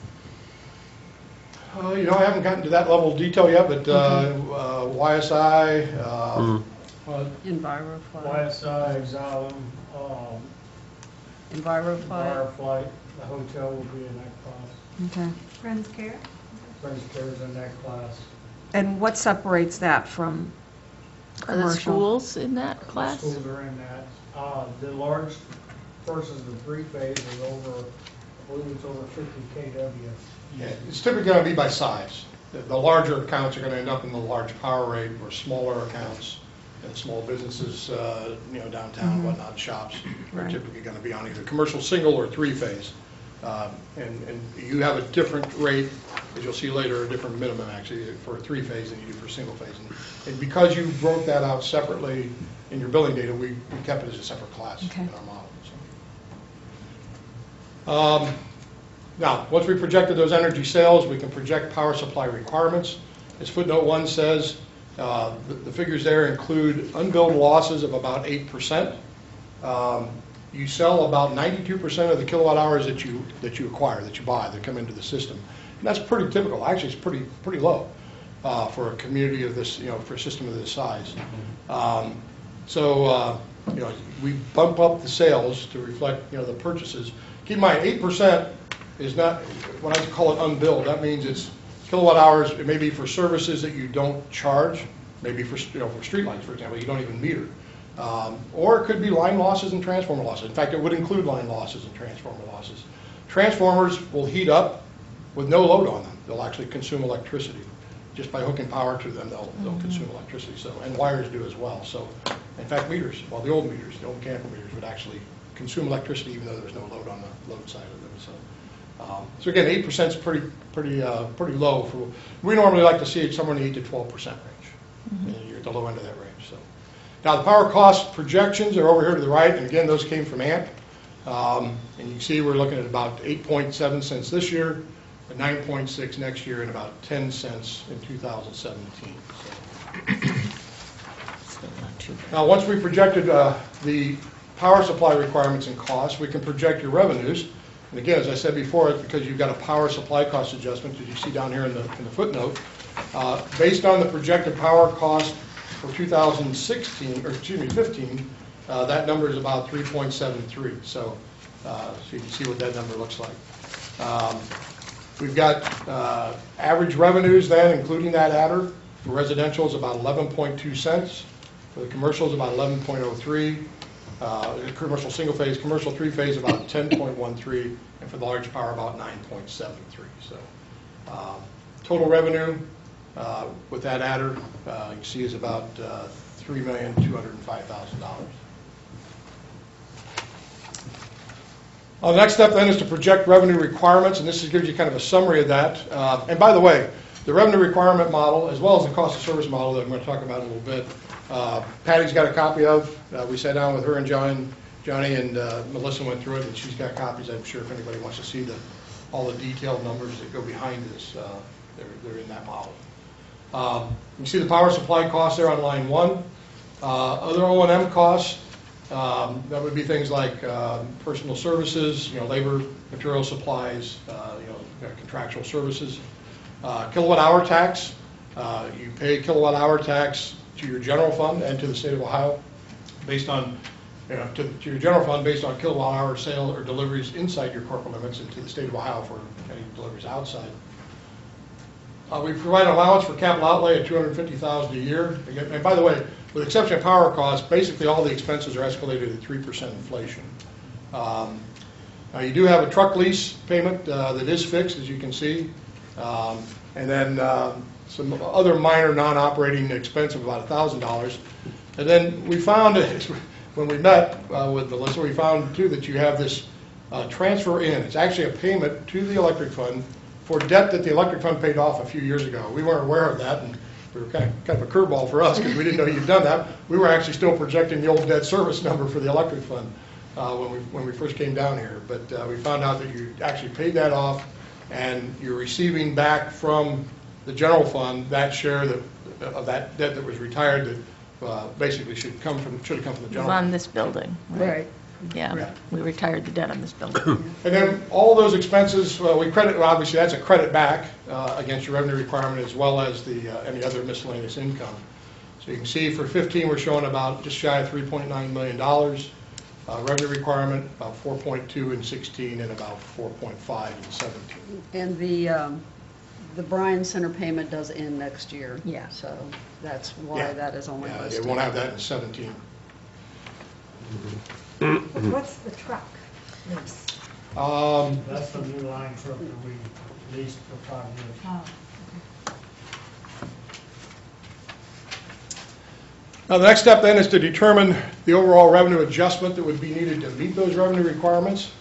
And you can see that in 2015, we're actually projecting a shortfall of about $687,000 or 22, 21.5%. Now, I'm going to address that for you a little bit later, don't get too alarmed with that number. There's a reason why that's much larger than the, the next two years, and it's not just that $69,000 credit that you're getting back, uh, you know, from the general fund. Uh, has to do with how your power cost adder works. But, but for 16 and 17 going forward, uh, basically what we're showing is that your revenues are about 9% shy of meeting your revenue requirement.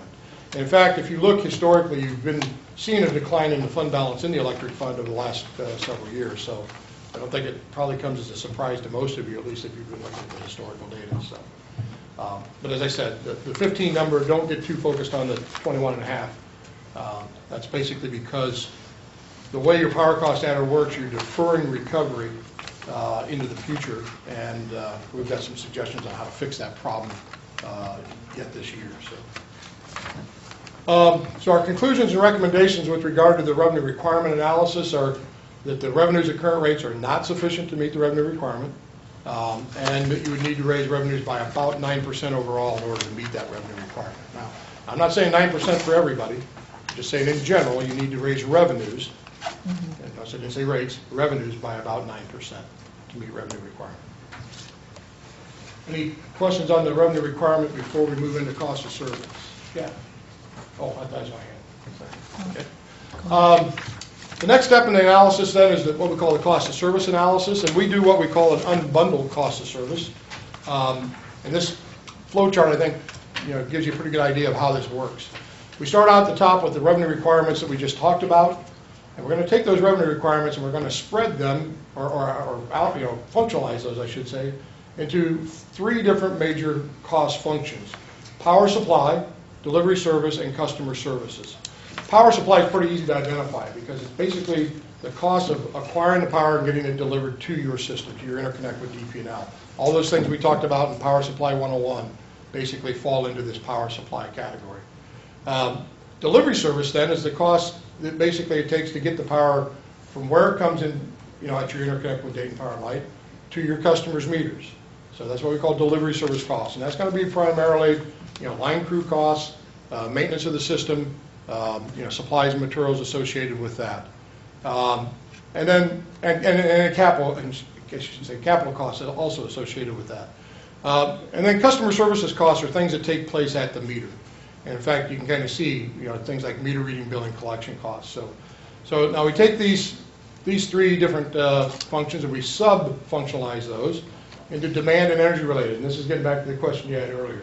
Um, A portion of your demand, of your power supply cost is, is energy related. It varies based on how much energy you buy, okay? Uh, You know, things like fuel, but like the hydro plants, for example, there isn't a lot of variable cost there because it's mostly debt. Um, You know, you're not buying fuel to, to, to uh, basically get power out of, out of a hydro plant. Um, The, uh, the demand related, though, are things like debt service associated with power supply resources or demand charges. Uh, But then in addition to that, we've got those capacity costs from PJM, those capacity charges we talked about, as well as transmission charges from Dayton Power and Light, uh, which are, are basically a fixed or a demand-related cost. So, so we've subcategorized these into demand and energy-related. We do delivery service costs. Really, none of those are vary based on the amount of energy a customer uses.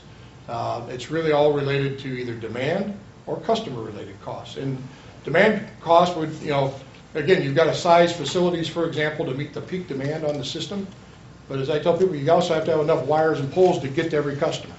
And so those costs kind of get allocated between demand and customer-related.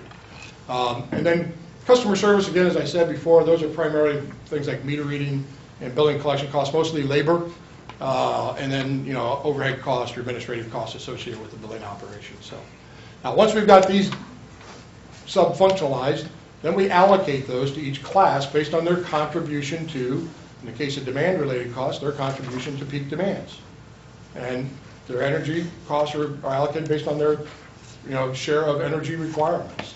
Um, And so, and the customer-related costs are going to be allocated based on, you know, what share of customers. So for, but now, when we do customer-related though, we take into account the fact that the cost to serve, for example, a large power customer, you know, because he's got on a demand meter, the, you know, the billing process is a little more complicated, we use what we call a weighting factor. And so it's not just a one-for-one uh, with regard to uh, allocation of some of these customer-related costs. Um, Serving a three-phase customer, for example, is more expensive than serving a single-phase customer. You've got more investment in facilities to serve that customer, both the distribution system as well as the transformers at at the site, so. um, This gives you kind of a breakdown of what we call the unit cost of service that we developed from the, from the cost of service study. Um, and This kind of gets to the earlier question a little bit, but I, uh, uh, But basically, what this says is we've got power supply demand-related costs that are about almost twenty-seven dollars per kilowatt month. That's a, that's a huge number. Uh, For most of our clients, that number's probably down in the fifteen dollar range. Uh, But again, that's, that's those hydro plants. And by the way, this is 2017 data, so this is all based on 2017. Um, Your energy-related costs are little, just over 3 cents a kilowatt hour. So on a variable basis, your power supply cost is, is really only about 3 cents out of that, you know, nine and a half or 10 cents that we're looking at in 2017. So back to your question I think you asked earlier, for power supply in 17, it's about 70-30 split. About 70% demand, 30% energy when we get out to 2017 with the hydros on. Uh, Delivery service demand costs, uh, about $5.65 per kilowatt month. Um, And, and by the way, this data is used not only to allocate the cost to each class, but we also use this when we're looking at rate design and what things that we uh, need to do with your rates. Delivery service customer costs are about $9.90 per weighted customer per month. And then your meter reading and billing costs, you can see, are about 283 and 358 per month each. Uh, Those combined, by the way, are what, about uh, $6.40 or so. Um, So again, we use this data not only to allocate costs to the classes, but we're also going to use this when we get down to trying to develop things we need to take a look at with your rates, so. Uh, And then I think this even gets you a bigger picture, uh, to answer your question earlier. uh, You know, for 2017, your demand-related costs are about 64%, or roughly two-thirds of your cost, overall revenue requirement. Energy-related costs are about 25% of your overall cost, uh, and customer-related costs are about 11%. Um, And that's, the- the- those numbers are are not, the 11% is probably fairly typical. Uh, What's probably not as typical for most of our clients is the 64 25 split. Again, because most of our clients are not as heavily into the hydro as what, is what you're, you know, going to be in 2017, so. um, Kind of ironic, I, we, I did a quick analysis of your rate, of your, your revenue stream, you know, the way you charge customers, and you do have a demand charge in your large power rate, as you'll see in a little bit, but about 90% of your revenue is generated by an energy charge, and only about 10% is generated by customer and demand charges, or what we would call a customer or minimum charge and demand charges. So you can see there's quite a difference between, you know, 25% of your cost is energy related, yet you recoup 90% of your cost on an energy basis. So, uh, for other communities or areas, what is a more normal ratio between the demand and energy related? Probably closer to about uh, half of the balance. Uh, So if you take out the 10% or so for customer related, it's about 45% each. They're about balanced. Um, Again, you're going to have very low energy costs because of the hydros. Most of our clients, uh, we've done before recently, are probably looking at 4 cent energy costs. You're looking at 3 cent energy costs. Would- um, So I'm still learning this. So would you uh, review what the demand entails?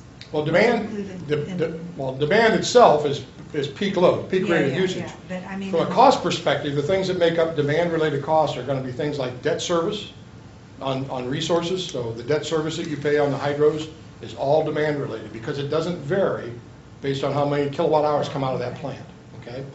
Um, A certain portion of O and M costs, Fremont, for example, you know, you've got fuel there. So you've got some gas that's going to be an energy-related cost because if you don't burn it, if you don't generate, you don't burn the gas. But You've got labor costs that are, that you're paying, and you've got debt service costs that you're paying that are fixed costs. They're typically allocated on a demand basis. Now, some of that, some of that labor cost will actually get on a allocated on a variable basis, because you'll have a little more labor cost if you run the plant than if you never ran it at all. Uh, it kind of, you know, but not a lot of it, but a portion of it does get allocated to variable. But most of it's gonna be fixed or demand related, so. But demand costs are gonna be things that are fixed, that don't vary based on the amount of energy you use. Energy-related costs are things that vary because you're either getting more energy, you know, or, or, or delivering more energy to the customer, don't know if that answered the question. It was a long Yes, answer to your yes, question. thank you, Ryan. Okay. So if we look at the cost of service results, and, and here we're going to compare the revenue at current rates for each class to what the cost of service results indicate as the cost of serving that class. And again, as the footnote says, this is 2007 uh, revenues and, and test year for the cost of service. So we're- we're 2017. taking revenues from a comparable, for the comparable year with the same power cost built in. Um, And you can see for the residential class, your revenues at current rates are about 2 point, a little over 2.1 million. Cost of service says you ought to be almost 2.4 million. So a shortfall of about 267 or 268,000 dollars. Or what it says is residential revenues need to go up about 12.7% to meet cost of service, okay? Keep in mind, overall, we're looking at 9.2% overall revenue increase, so. Now, commercial single phase, on the other hand, same numbers going across, says it's about 20, to be, go up about 29%. So it says you're really under recovering on your, on your commercial single phase rates. Can you, I, I hate to ask, Yeah. but what's the difference between single phase and, Single phase means you basically, power comes in, you know, basically three phases. I mean, it it gets a little complicated if you're not familiar with it, but, uh, Johnny's laughing. uh, But basically, um, most large customers are going to be served at what we call three-phase. Uh, In other words, they're going to have three transformers uh, that basically supply the power to their facility, where most residential and small commercial are going to be single-phase. Oh, okay. So they only have it's one just- transformer it's a because they don't have- Smaller. they don't have three-phase Smaller motors. commercial entities Yeah, are nor- gonna- nor- Johnny, Normally, That's, three-phase. that's good enough. I don't need to know. Well, I would like, I mean, could you, downtown businesses, Mostly. Majority are three-phase. Three-phase. they are three-phase, because they're large buildings? Because the power cost for the HVAC units and all that, they can run With- with cheaper three-phase. two seventy-seven. Yeah, I was gonna say, what, what drives the customer's need is what their equipment is, and usually larger customers have large motorized equipment that, and it's more efficient to operate a three-phase motor than a single-phase motor. You can do single-phase motors. Tom's got, It's more Tom's efficient than Market's got three-phase. both. Uh, some of the buildings downtown's got those. Uh, the majority of them are three-phase. Okay. Okay. All right. Now, for the, for the three-phase, you can see that it's closer to where the residential's at. Uh, You're looking at about 12.3% um, uh, shortfall there. And the large power class, on the other hand, actually says the revenues that you're collecting from them exceeds the cost of providing service. So, so it actually shows that, uh, you know, large power is, is over-collecting relative to cost of service. Uh, And this, you know, engineers can't work without pictures. Uh, So we had to put it in a graph. This gives you kind of a relative uh, i- impact, you know, you know, residential, looking at about 12.7, you know, 28.8 for commercial single, 12.3, and then uh, negative 5.2 for the large power class. Keep in mind, this is with an overall adjustment required of about 9.2%. So anybody that's, anybody that's above 9.2% is being subsidized by anybody that's below 9.2%. So basically what it says is that the large power class is subsidizing the resi- residential and commercial classes. And that doesn't surprise me when we started looking, at when we looked at revenues from the very beginning. Because your large power class average revenues are almost as high as all the other classes. I think they were 9.7, and the other classes are just over 10 or around 10 or 11 cents. So it doesn't surprise me to find that, uh, unless you had some really poor load factor, large power customers, and you don't. Most of them have fairly good load factors, actually, so. um, Now, what, what- basically what this tells us is though, future rate adjustments should move this revenue distribution towards the cost of service. Now, I'll be the first to tell you, cost of service changes all the time. In fact, you could get somebody else up here to do this study, and they're gonna get a slightly different result, because some of this is subjective. Yeah, of course. But I don't think they would be drastically different. I think you'd still end up with the study saying large power classes subsidizing the other classes. So, um, so when you make changes, I mean, the- the worst thing you could do is just say, well, we need a nine percent increase, let's just raise everybody nine percent. Because you're just going to continue to perpetuate the problem that large power is subsidizing the other classes. Now, I'm not saying you can't do that, but that just, you know, perpetuates the, the inequity in, in the way the rates are now. Uh, So what you should try to do is move towards this. Now, do you ever get there? Probably not. Uh, But you should at least make changes in your rates or your revenue distribution that move you towards it. So you, you try to head that direction. Um, Doesn't mean you're going to get all the way there. I can tell you right now, you're probably not going to raise a commercial single-phase class 29% Yeah. uh, because you'll have this room full of people screaming uh, when you're raising overall 9.2. As a general rule, what we try to do is we try to say, um, we won't raise any class more than twice the overall revenue increase. So in this case, we'd be saying we would limit anybody to about 18% for, by class By class. by class. So, uh, But again, that's your call, and that, and that's the part I need feedback from you on going forward, uh, is, you know, how would you like to distribute this overall adjustment uh, amongst the classes? Can, can you explain why the, why there is such a big difference with the, the single-phase commercial? Uh, Well, that's because of the way your rates are, unfortunately. Uh, And, and those are, those are small customers that you're not recovering those fixed costs, those demand-related costs. Let, let me walk through the rates, and I, I think I can answer Okay. your question a little better for you. But let me, let me kind of jump ahead. Um, So, uh, basically, you know, again, you know, these were the results of the cost of service. Um, Next step is to review your existing rates, compare those rates to the cost of service, when we talked about those unit costs, uh, and try to identify where there are problems, and- and that's, that's basically what we're trying to do. Uh, Lastly is to develop new rates, but again, we need that feedback from you on revenue distribution, because I need to know how much revenue do I need to get before I can design the rate to get you there, so. uh, By the way, your, your base rates were last uh, adopted in May of 2007, at least that's what uh, your codified ordinances say, with the exception of the kilowatt hour tax, which was adopted in 2001, the, uh, uh, when it was uh, basically implemented. Um, Your residential rate looks like this. You have um, basically an energy charge for the first 100 is at $10, and that's also the minimum. So you're building into the minimum 100 kilowatt hours of usage. Um, The next 400 kilowatt hours are at 7 cents per kilowatt hour. The next 1,100 are at 6 cents per kilowatt hour, and everything over that is 16, uh, over 1,600 is at 5 cents a kilowatt hour. So these are what we call declining block rates, pretty common. Um, Although we're seeing more of a trend to try to consolidate into single or maybe two block rates. Um, But, but again, it's not an uncommon rate structure uh, given back in 2007 timeframe, so.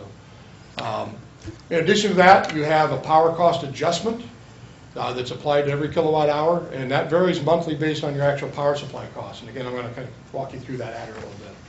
Uh, And then that kilowatt hour tax, as I said, it's basically tied to, directly to the Ohio Revised Code, Section 572781, which established the uh, kilowatt hour tax back in 2001. Uh, Your commercial single phase has a, uh, again, like the residential, has the first 100 kilowatt hours at a flat $15, which is the minimum. Um, The next 900 kilowatt hours at 7 cents, the next 2,200 at 6 cents, and everything over 3,200 at um, 5.5 cents. Again, you got the power cost adder and the kilowatt hour tax, just like the residential rate, so. Um, Oh, did we lose a slide? Yeah, we're missing the three-phase. Is it in, is it in yours? Oh, I'm, I apologize. Um, Yeah, that's what I missed. Don't know what happened. Um, Well, the commercial three-phase, I think, is the same, it's just a higher customer minimum charge, I believe. Yeah, yeah. So that, but the individual, You know the what that- 900 Yeah. kilowatts, that's all Can the you same? just, What can you it? just tell us what those numbers are? You got that, Scott? Because Is it 20?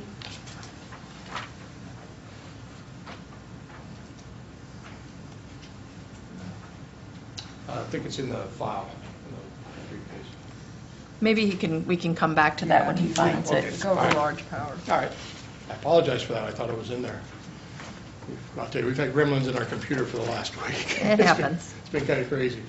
Um, Large power is basically, you have uh, a capacity charge. Now, this is where we get into a demand-related charge. It's called a capacity charge of $6.50 per KVA. I don't know that you're metering, K- are you metering KVA, Johnny, or are you metering KW? KW, that's what I kind of figured. Um, And we won't get into that whole discussion, but suffice it to say, it's 650 per KW.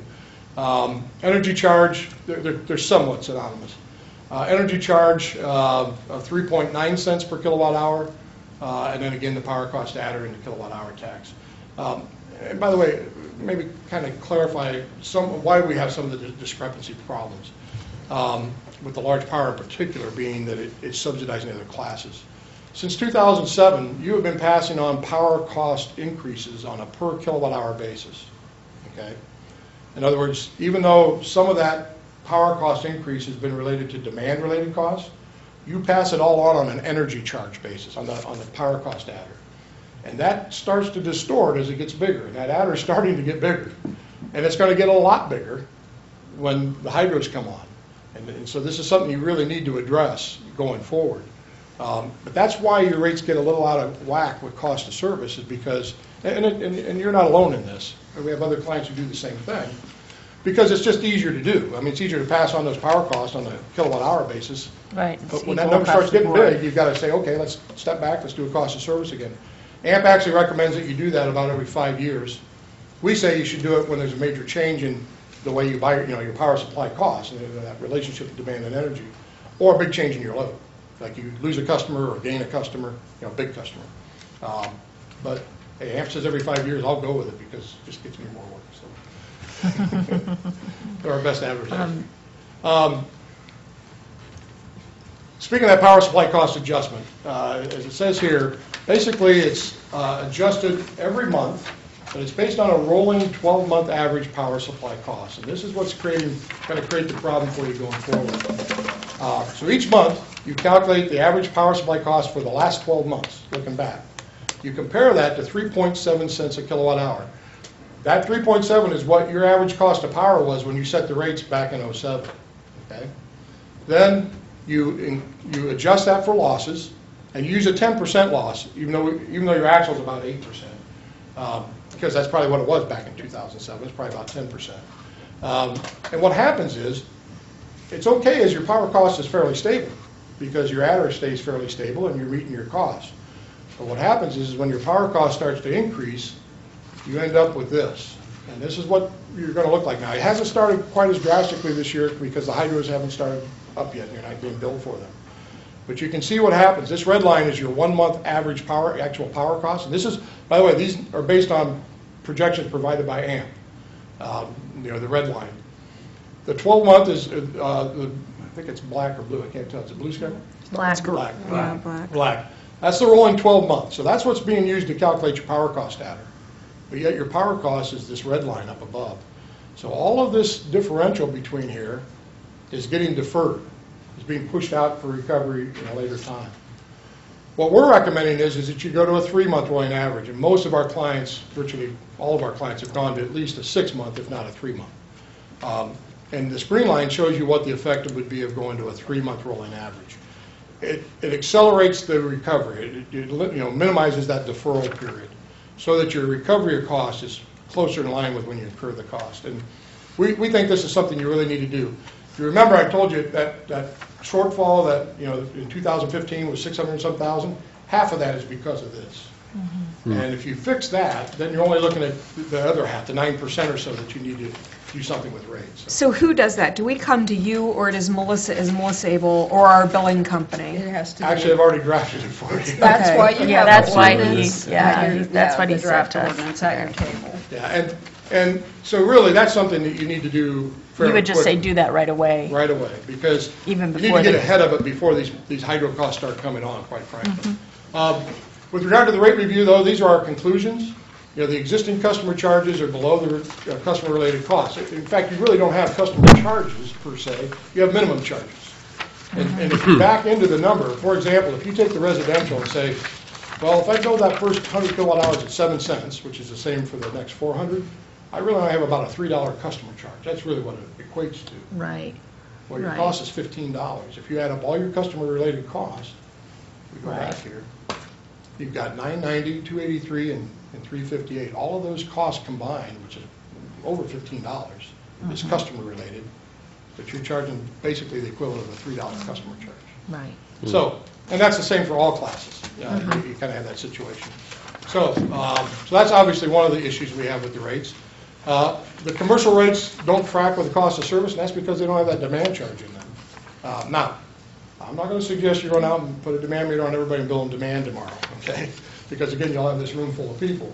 But you need to start the transition. And what most of our clients who don't currently have demand charges for commercial, what we recommend is all new customers go on a demand energy rate, or at least all customers of a given size. Now, maybe we allow smaller five kilowatt type load customers to stay on an on-demand rate, but all, you know, medium-sized customers would, if they're new, would go to a demand rate. But we would grandfather all the existing customers on the non-demand rate if they want to stay there now. If they, if they can save money on the demand rate, because it's possible they could, if they're, you know, if they're running refrigeration equipment that runs around the clock, runs all night long, they might be better off moving to that new demand energy rate. But, but that's the type of thing that we typically try to do, is to transition you so that you start moving in that direction. Um, And also, start to gather the data. In other words, start to put demand meters on everybody, don't necessarily bill them on them, but start to gather data so that we can use that data for rate purposes. And they could use it perhaps for, Well, it, it's information that they, you know, they would know what their load is, uh, and, but, um, but really, it's more for you to know, I mean, it helps us in the cost of service, how to allocate costs, okay. but more importantly, it helps down the road to get rates in line with cost of service, so, yeah. So are you using demand in the same way that you were using it in the draft? In other words, demand was all the fixed charges that we incur not including the cost of the energy? That's, the well, that's the, that's how the rate would look if you did purely on cost of service. Demand it- when I'm talking about a demand meter on the customer, we're trying to record their highest rate of usage, their highest Okay. demand. Okay, so it's a different definition. So that we can apply a rate to that demand, like we do, you do this now with large power, okay? With large power customers, you bill, Okay, that's, uh, you call it capacity charge, it's it's the equivalent of a demand charge. It What- tries to recover those capacity, those demand-related costs on a demand basis, as opposed to an energy basis. so my question is, I guess, given that for our costs as the village, we have fixed costs, which are mostly what you're terming demand cost, but we're not charging any kind of demand, we're not charging any sort of fixed base cost to any of our customers. Just a large power. Okay, so Just a would large you recommend that we start doing that for residential and, Well, I recommend it for commercial, definitely, and as I said, you may want to transition to that and allow customers to stay on non-demand for some time, you know, in in other words, I wouldn't do it overnight. But residential, we typically don't see demand-related rates in residential. why not? Well, Ohio Edison tried this several years ago. Back when I kind of started cutting my teeth in this business, in the late 70s, early 80s, uh, Ohio Edison put everybody on, every residential customer on a demand meter. Uh, And it wasn't long that they ended up doing away with it. And the reason was, now, now you can still opt for that if you want as a customer and be billed that way. But what they did was they found out that the customers just didn't, had a hard time adjusting to it and understanding it. And what, it- and and actually had it on a time of use basis, so that if you used your dryer at night, you know, it set less of a demand, it was an off-peak demand, if you didn't run it during the day, and it would save you money. Uh, But customers had, had a hard time So adjusting. I'm to not it, so. using demand, and I'm using the demand in the sense that you were originally using it, that we pay for, our fixed costs. We don't charge any, we don't charge our uh, resident, residential customers a base fixed cost. I mean, we charge uh, an amount. We for do, the it's first- in dollars. It's just not high it's just enough. not- It's just, not- yeah. Yeah. But it's for the first Effectively, it's hundred. It's the first 10. But it's, 100 it's a kilowatts, basic yeah. readiness for service charge. Okay, that's what I'm talking about. Yeah. or Yeah. It's It's supposed to be, but it's not. Not reflective of cost. Yeah. So, Far so from it. let me change the words. Would you recommend that we increase our readiness to serve charge? Yes, Uh, that's the first uh, item we have on the list. Okay. Existing customer charges are below customer-related costs. So that's the Okay. first step, is getting that, that customer charge. And by the way, just to give you kind of a a comparison, the rural electric cooperatives, uh, some of them in the state have raised their, their customer charge. It was, used to be $3, $5 a month to $35 and $40 a month. And that's what we're seeing in their world. Uh, They're starting to say, hey, we want to make sure we we recover our fixed cost. And then the energy portion of the bill is basically power supply costs. And so they, they want to make sure they're getting that money back for getting that readiness to serve that power, you know, to the customer, uh, regardless of what they use. Right. So, uh, but yeah, we're seeing that, uh, at least in the, in the rural electric cooperatives, yeah. Ju- Just so everybody's, when the new meters come online uh, in July or whatever, they will all be capable of reading demand. We just will only use it as we're doing now. But even residential meters will know what their demand is. Right.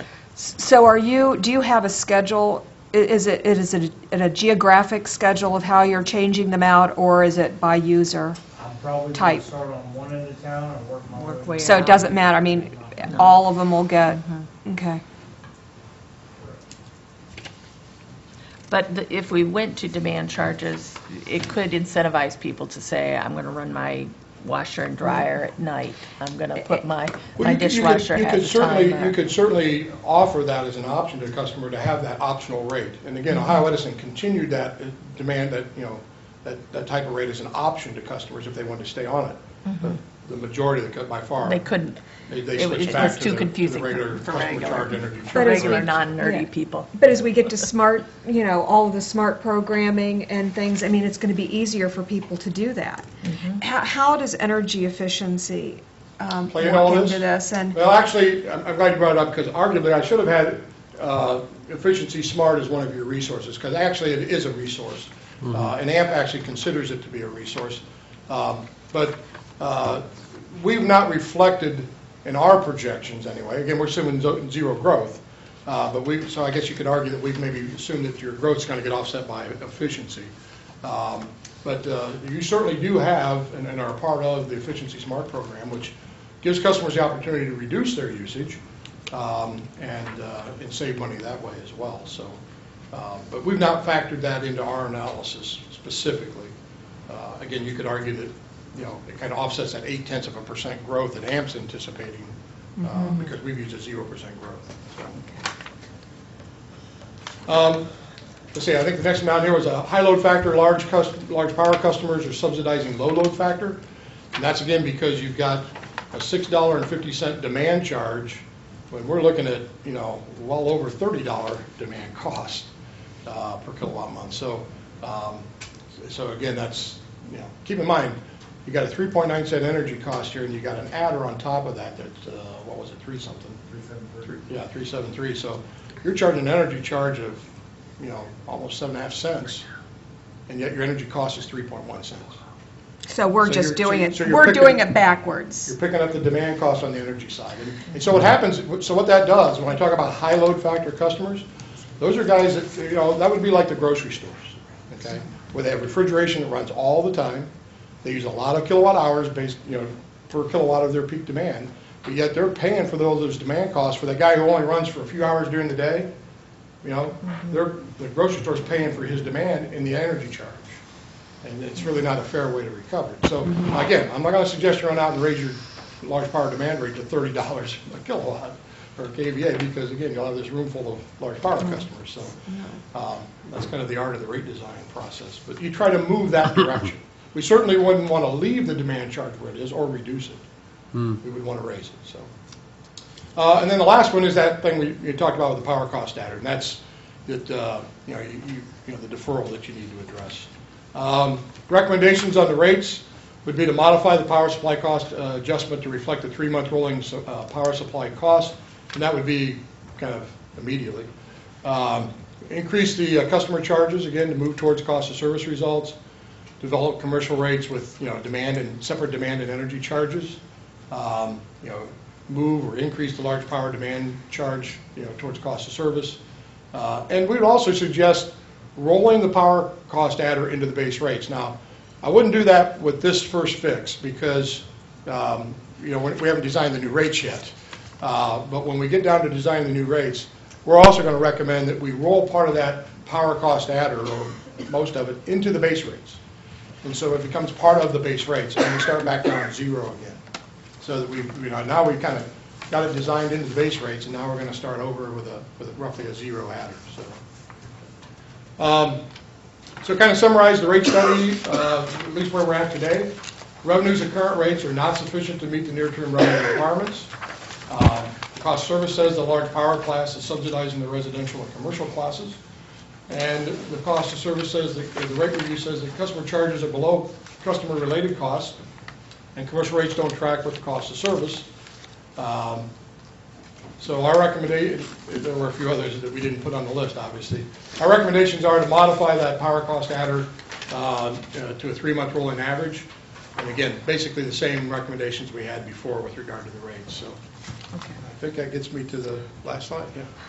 O- Okay, one of the things that we're considering in, in our regular council meetings is um, legislation that will um, put responsibility for utilities on the property owner of a, of a rental property. Okay. So let's say we had a large apartment complex, which now is a 30 little residential users. If that property owner chose to pay everything, to pay it all himself, would they become a large power user? Um, It would just depend on what their load is. I don't know if 30, 30 units could possibly get you to that level, uh, that they would fall into the large power rate. And, and a commercial property could pot- potentially be the same, where maybe now they're a commercial, small commercial, but it could become a large user and, and potentially become beneficial Uh, Well, in rate structure. yeah, I mean, I- whether it's beneficial or not depends on what their load factor is, what, what their relationship to the demand and energy, whether they would save money or not. Okay. Um, But, uh, but certainly if you've got 30 or, or, you know, or more in an apartment complex, I can tell you that most of our clients today would never treat those as separately metered residential customers. They would probably treat it as a commercial s- service. Uh, if Anything that large. Normally, the break is, you know, if we got three or four or five u- unit type, you know, and usually because they've been around, you know, they'll treat those as separately individual metered services. Uh, But, you know, once you start getting in the, in the tens of units, you know, 10, 20, 30, 40 units, typically those are going to be served as a commercial service with one meter. And the owner of the property is responsible for, for the bill. So, I'm not saying you can't do it the other way, but what they find is the cost of doing that is, can get. They can get some, very high. right, yeah. To separately wire each meter, you know, for each unit that way, so. Are we, I mean, I, we haven't had any apartment complexes built that we would even have that, you know, that kind of an assessment or that kind of a decision to make. Um, No, but Antioch's thing could have some things Right, like that mhm. in it. But they're already a large power user, so. Questions? Anybody, any questions from, from citizens? I know that we do have um, a presentation on community solar. Could we Um, take a quick break? Sure. Oh, thank you. Uh, John's going to talk a little bit about community solar. And before I do, Scott uh, checked the file, and actually on that commercial rate, the reason we only showed the one rate is it's the same rate that applies to single and three-phase. Okay. So that's why we only listed the one slide. So, Okay. um, so yeah, it's no, no different which, whether you're single or three-phase. Uh, Community solar options. I know this has been a topic of discussion here. Like I say, I was here back in January for one of your meetings uh, where we had, uh, yeah, had some discussion about this.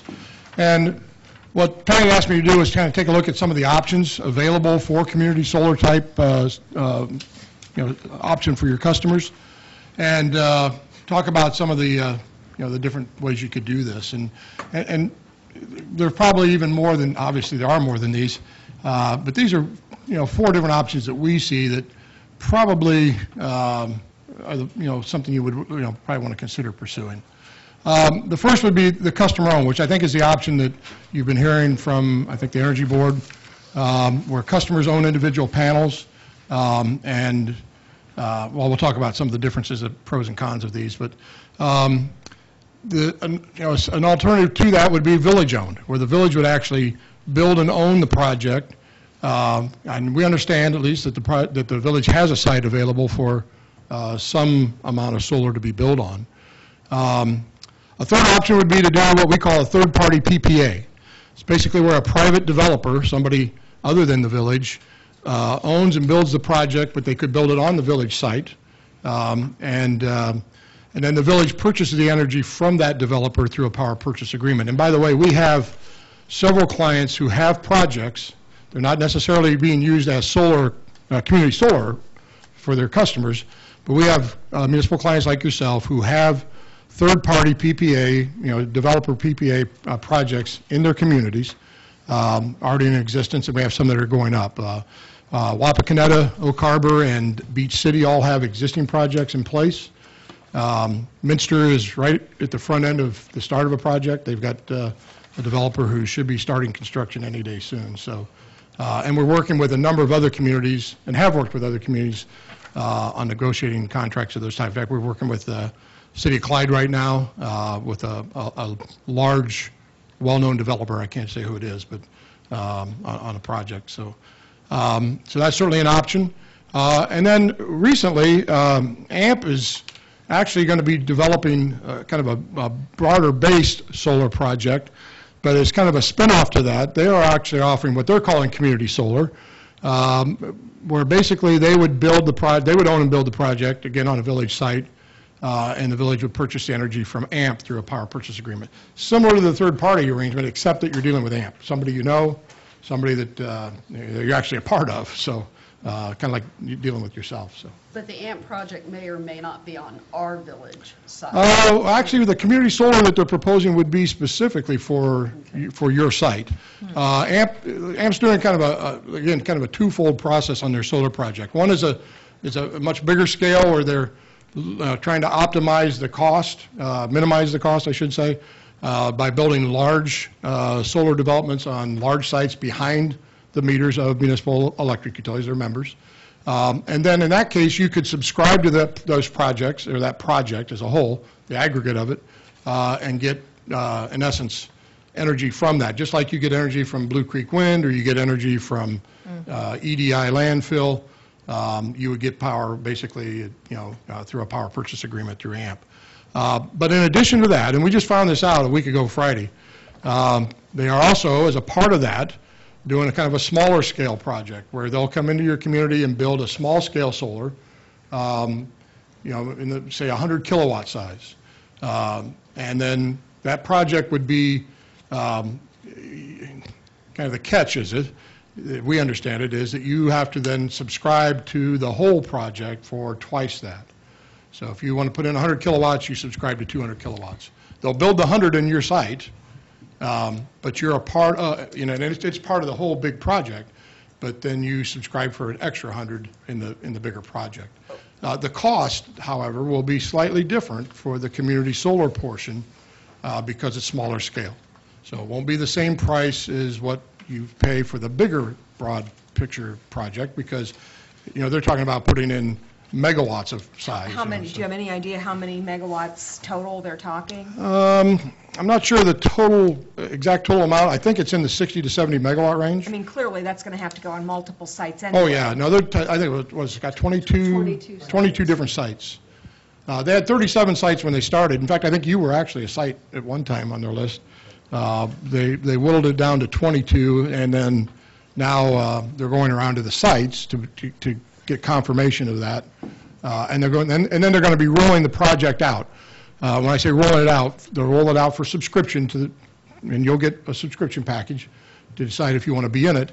But as a part of that, we understand there'll also be this community solar option that you can do, which is much smaller scale, so. And do you know what size project is kind of the minimum they're willing to I look think at I- in a we, single community? I'd say 100 kilowatts is what we heard, but again, we just heard about this a week ago Friday. I don't know, I don't know if they, they might go smaller than that, I What don't know. does that translate into acreage? Uh, It's about five acres uh, per megawatt, so you'd be looking at a half an acre, round number. Oh, wow. Yeah, not a lot of, not a lot of land to do a, to do And a what about this, kilowatt. I mean, so 100 kilowatts for the, you know, where you have to double your, but what about smallest for the regular project per site? Uh, You can, I don't think there's any minimum size a- as far as participating in their overall project. Okay. Um, Not that I'm aware of. I mean, if you could, you could subscribe for 50 kilowatts or 10 kilowatt, I mean, I'm not sure why you would. Now, for your side, on your side, but for, you know, a town like Eldorado, they might want 50 kilowatts or something like that. Uh, Now, keep in mind, that doesn't mean they're going to build one in your town, you know, on a site. That means you're just going to be a part of these other projects, you know, these other sites that are being built, and your cost will be the same as everybody else that's in that.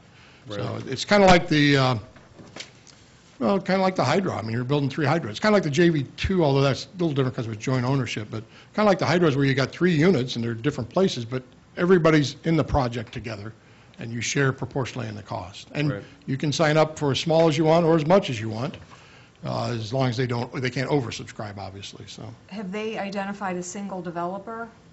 No, they're going to build it themselves. They're not using a developer. Uh, This will be owned by AMP, just like Fremont Energy Center, just like the hydros are owned by AMP. Um, I mean, one of the trade-offs, um, So they'll be like the general contractor and they'll, um, well, they'll be, yeah, but they'll, they'll they'll bid it out. In fact, I think they've Yeah. already selected, um, or they're working on selecting the contractor, because they had to Yeah. get prices together, obviously. Um, Actually, through an organization called Hometown Connection, um, they um, uh, have aligned with a contractor who, Hometown Connection is a part of APPA, the American Public Power Association, which is the nationwide trade association for public power systems. And they have a, a- a group, a- a- an entity, so to speak, called Hometown Connections, who market services that they've, um, you know, that they've kind of pre-screened and pre-qualified, uh, so to speak. for public For, for, utilities. yeah, for public utilities to use. And so they, they're, you're using a company that's a part of, home- you know, uh, Hometown Connections program, uh, as I understand. It gives a guaranteed price on the construction. You know, once they've identified the sites, uh, they'll get a price guaranteed from the contractor uh, for the installation, so. Um, Are they looking at greenfields only, or would they consider brownfields? They did, Oh, no, they'll, they'll, uh, they'll consider they're brownfields. doing one on a, what was it, 60 acre junkyard, Yeah. Johnny? Yeah, they've already, it's Yeah. completed.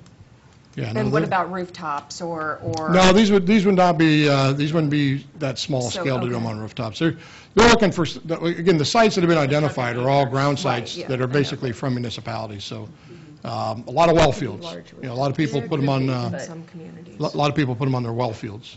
Um, You know, it's pretty common, so. What kind of uh, timeframe? Well, I think they're, they're hoping to have some script, well, they said they were going to have subscription deadline of uh, July. July. Yeah, I think This that's. July? July. Somebody said Wow. that. Uh, I'll be honest, I don't think that's going to happen because uh, it just takes a lot more time to that for community. But they had planned on rolling it out 1st of April, and here we are, end of April, and we haven't seen numbers yet. Uh, We've attended two presentations on this, and uh, we haven't seen any dollar amounts yet. Um, it- It's because it's kind of a chicken-egg problem. They got to find out the sites, they got to pin them down to get the price uh, before they can do that, and they're still working on the sites. Uh, And, and I think the site guys are saying, well, I want to know what I'm going to be paying. Uh, By the way, if you host a site, and not as solar, uh, or, well, it's kind of the same thing with community solar, but if you host a site, you have to take, is it half? Half. So if, let's say you got a 10, you know, 3 megawatt site, you've got to take 1,500 in the project. Right. Yeah, you got to subscribe to at least half of what your site uh, capacity is. So, If you host the site, I assume you get some sort of benefit on the rate? not really on the rate. Um, You, you, will, uh, you'll get some benefit on, um, I'm not sure on transmission. The capacity, you don't get any more than your proportionate share. I'm not sure, I'm not sure on transmission. I don't think we've seen the final outcome on that, so. But I- I- there's not, there's not a real big bang for the buck to, to host a site, other than you've got it in your community. And, you know, I'll, I'll be honest, most of our clients, at least those who, um, AMP started a, a solar project a few years ago in Napoleon, and that, that was kind of the start of this. It actually started even before that. They were going to do 300 megawatts. Uh, It was a pretty big scale. Never got anywhere because everybody wants a site. Everybody wants to be a site. And, you know, uh, and they're not going to put them, I mean, this is, I think what pulled, you know, caused them to roll out this community solar, because they weren't going to do small-scale projects. They were only looking really for the, for the lower-cost, big size projects. Um, But, no, I, I don't think you do it because there's some additional benefit to you. I think it's because you have it in your backyard. And I think that's really the, the motivation for most people wanting to put them in, is because they want them in their backyard. Yeah, I can see the hand up back here. John, we had a, a village come, we put it in the, one in their well field so that they could pump their water during the day using solar power. And saw that as a uh, financial savings. You mentioned well field, is this, is it true that that would, uh, provide village financial benefit? Well, the financial benefit to any solar project is the fact that it, uh, it's typically going to be operating at near uh, full output on the hot summer day, and hopefully during those hours when the peaks occur. Now, that doesn't always happen to occur that way, but, but ideally, you'd, you'd like to hope that you're getting most of that solar. And so the, the real benefit to the solar financially is, is basically reducing your capacity requirement. And I'm not now talking about bidding into that auction we talked about, I'm just talking about putting it in behind your meter, behind the village's meter, you know, and reducing the load during the summer peaks. And that has a financial benefit because now you're reducing your peak load contribution that we talked about earlier. I don't know if, you know, if you were here for that. But you reduce your peak load contribution, which saves you money. And if it happens to occur during the peak on the transmission system, which you're billed for, your contribution, you reduce your transmission costs. So that's the real benefit from the, from a utilities point of view, is reducing transmission and capacity costs. Um, The energy also comes typically during on-peak, it's, well, it's going to come during on-peak period, that's 7 in the morning till, you know, 11 at night, but during that period, when energy costs are typically higher than they are at night. So you get the benefit of getting the energy during the higher energy price periods, uh, typically. So, you know, that's, that's the real benefit to it. Uh, I mean, the trade-off is you've got fixed costs, you know, you got capital costs, and, um, you know, and you got to weigh that against it, so. But we, we wouldn't have any of that, obviously. Well, you would Go under, with you, the- you would, un- you would under village-owned, but you Right, would not, but un- not no, you under- wouldn't under, right. uh, the other three options that are up there, you would not have any. Let let me, let me kind of, let me kind of walk through the slides for you, and then you'll see what, uh, what we're talking about. Geez, I, I wish I could make this bigger so I can see it anyway. We don't need to see the top of it, do we? Is No, you can. Is that a little better? Oh, I can see, I mean, I think folks. We have this rule, we have this rule in our office that the text has to be big enough I can see with my glasses off, but, Done that. Um, I've been off- I haven't- oh, I'm, I'm fine. Um, Actually, I was doing it for everybody else.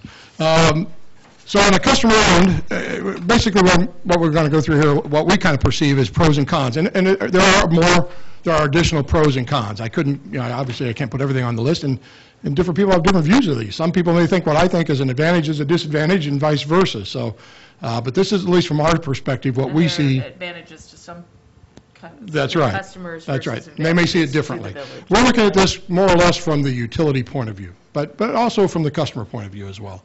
Uh, Obviously, a customer owned, you know, one of the advantages is because those customers are private entities and they own the, the- the panels, as we understand, they currently would qualify for the 30% uh, investment tax credit um, for, you know, for the customer.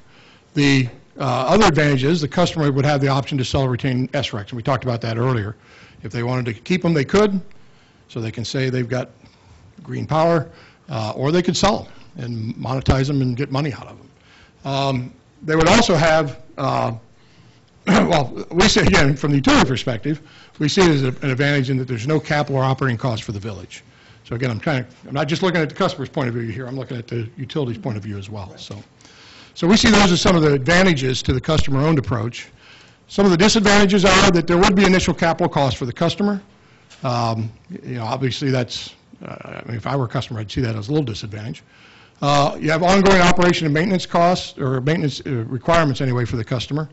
Um, This next one is really kind of a utility issue, and that is you have variable energy credits based on actual output of the project. I mean, as we understand, uh, the idea is that customers can own different numbers of panels and have different shares of the project and get different percentage of output, uh, which creates some issues from the billing standpoint, makes it a little more complex billing arrangement uh, than maybe some of the other options. Um, I think we talked about this last time I was here, transfer of ownership issue. You know, what happens when somebody who owns those panels moves out of Yellow Springs? And now you've got these panels that are owned by somebody that's no longer a customer. And, and how do you deal with that? Uh, Panel failures, you know, what if Joe Smith's panels don't work and he doesn't get them fixed? Does he get a percentage of the total project or does he get zero uh, until his panels get repaired? Or how do you measure what he got? Because, you know, you're going to have a meter on every set of panels. I mean, uh, so you've got those issues to deal with. And then the last one is uh, this unsubscribed surplus issue. What if the project ends up with more power than is subscribed, and where does that power go? Because now, who owns it, and, you know, what happens to it? So, so that's kind of some of the pros and cons we see, you know, with the, with the customer-owned approach. It certainly can work, um, and, and, and by the way, it's being done in other places, so, so it's not an uncommon approach. Um, Village-owned, um, obviously, some of the advantages there, uh, for the customer, anyway, there's no capital investment for the customer to make. Um, And the village does have tax exempt financing available. In fact, uh, what we've kind of considered is, you know, financing it through AMP's on behalf of loan program, which has a pretty low interest rate, instead of getting in their project. We're not sure if they'd like that, but hey, so be it. Uh, They do offer that program, and you can borrow money pretty inexpensively through, uh, through AMP's program. Uh, Or you can issue your own, you know, your own financing as tax exempt. So you get a lower interest rate than probably the, the private uh, entities or a private owner would. Um, As we understand, as I said before, the village has a site available for a project. Um, And this next bullet is really kind of our perception, it may not be everybody's, but, but we see this really as being a case where you could have customers subscribe for their actual usage as opposed to subscribing for a fixed amount of capacity. In other words, um, one of the issues you're going to have, if if you allow, if you have variable amounts of credit, is there's going to be months when the customer gets more energy out of the solar than his usage is, and some months it may be less, and you got to track all of that. What we're suggesting is, at least under this option, would be the customer could just say, I'll subscribe for all of my usage. And so he'll get billed for all of his usage at the rate tied to the solar, the community solar project. Um, Saves a lot of headaches on the billing side, so it's certainly less complicated uh, because you don't have those variable output issues. Um, you don't really have any panel failure issues, especially if the village puts in a little more than what's subscribed. You know, I mean, it's the village panels, so it's, it's their project. Uh, And, and they'll just, you know, they'll deal with that. Uh, So you're not dealing with Joe Smith has these panels and Bill Clark has these and, you know, whether they're working or not. Um, And you don't have a surplus issue, because if there is surplus, it's just a village resource. So it just becomes part of the village's overall power supply resources, just like all those resources we talked about earlier, so. You could, that could potentially reduce what we buy off the grid. during Yes, it would, it would. And, and and again, it gets back to that thing, you're really not buying it from somewhere else and bringing it in, it's just reducing your load here, so it reduces what, you know, what you have to bring in from outside, so. Uh, yeah, sorry. Were you done, oh, I can wait till you're done with the slide, if I can ask again. Were you done with that slide? I can- No, no, not yet, almost, almost.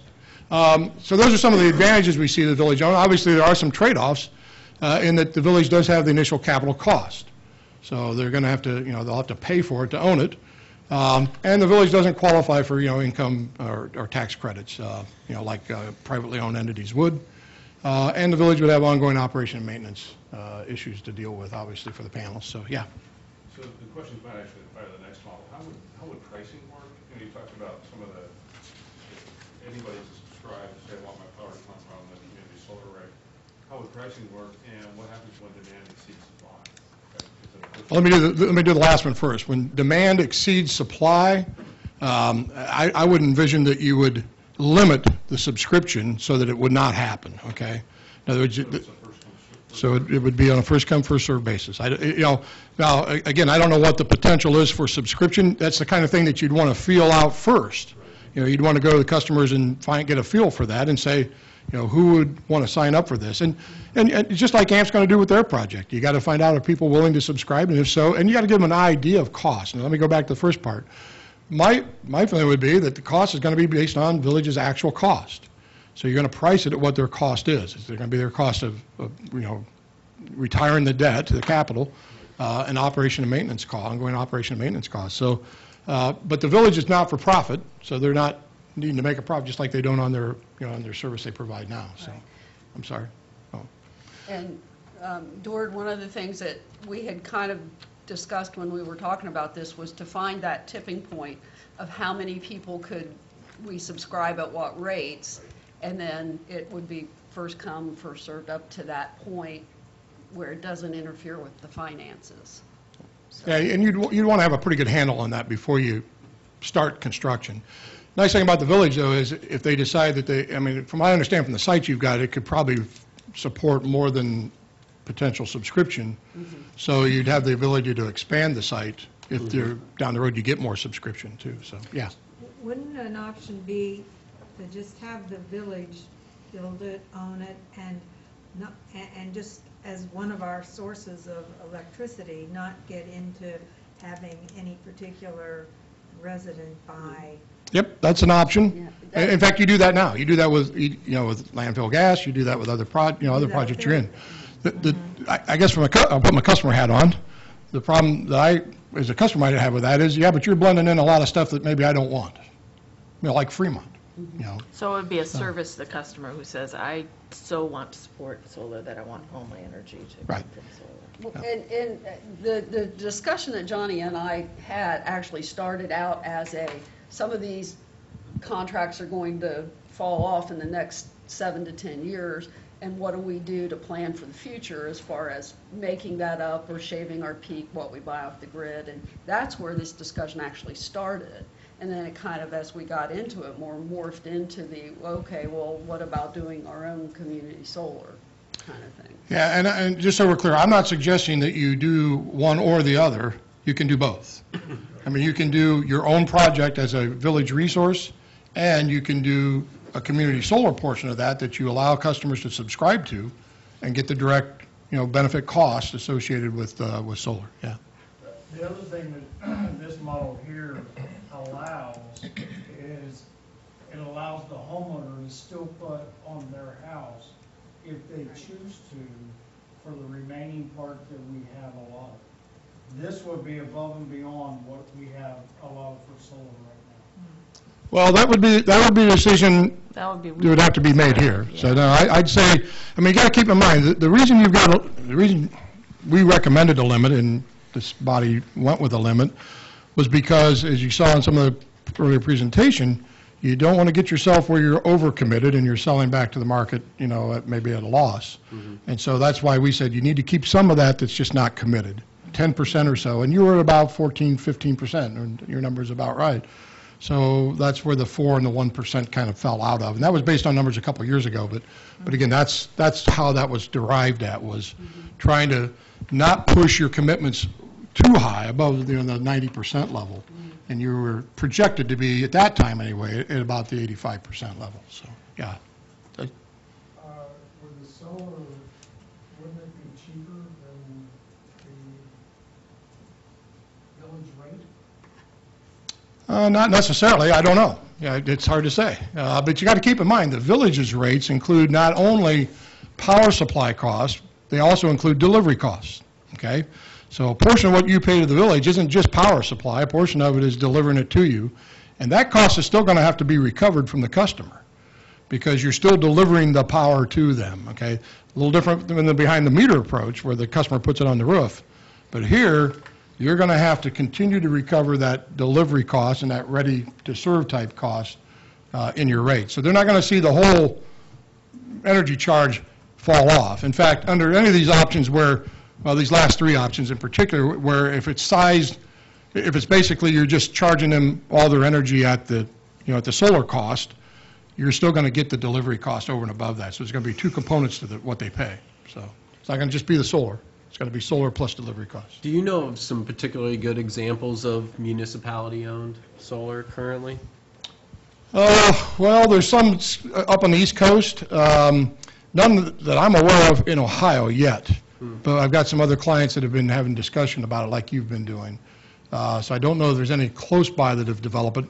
Uh, I know there are actually, um, and again, I'll be honest, I don't read all the solar news that goes on every day. If I did, I'd never get any work done in my office. Um, But I know that there are actually municipalities, um, and I think some even in Ohio that I read, that are looking at doing this, and they don't even own electric utility. So, um, and that's, so, you know, there's just a lot of activity out there, so, um, but I can't, I can't point you, none of our, I'll put it this way, none of our clients Right. have have done this, uh, but there are are some that are certainly looking at Can it. you, can you tell me who on the East Coast owns? Specific names? No, I, I I can, I can get you some, though. Um, There, there's a bunch of places in Vermont. Yeah. Places in, in Massachusetts and New York where the state law mandates utilities to be able to support this. Yeah. Um, Yeah, but they have a, they have a renewable energy portfolio requirement, so they have to do something, so. How does Oberlin, I'm sorry? how does Oberlin do it, How does Oberlin do? solar? I think they allow their customers to buy RECs. I don't know that they're selling solar directly to them. No, I mean, they have a solar. They have a solar project, that- that's their project, just like you, you talked about. It's, it's a village resource. I don't know that they're directly applying those costs to specific customers, not that I'm aware of. anyway. I don't do work for, for them, so.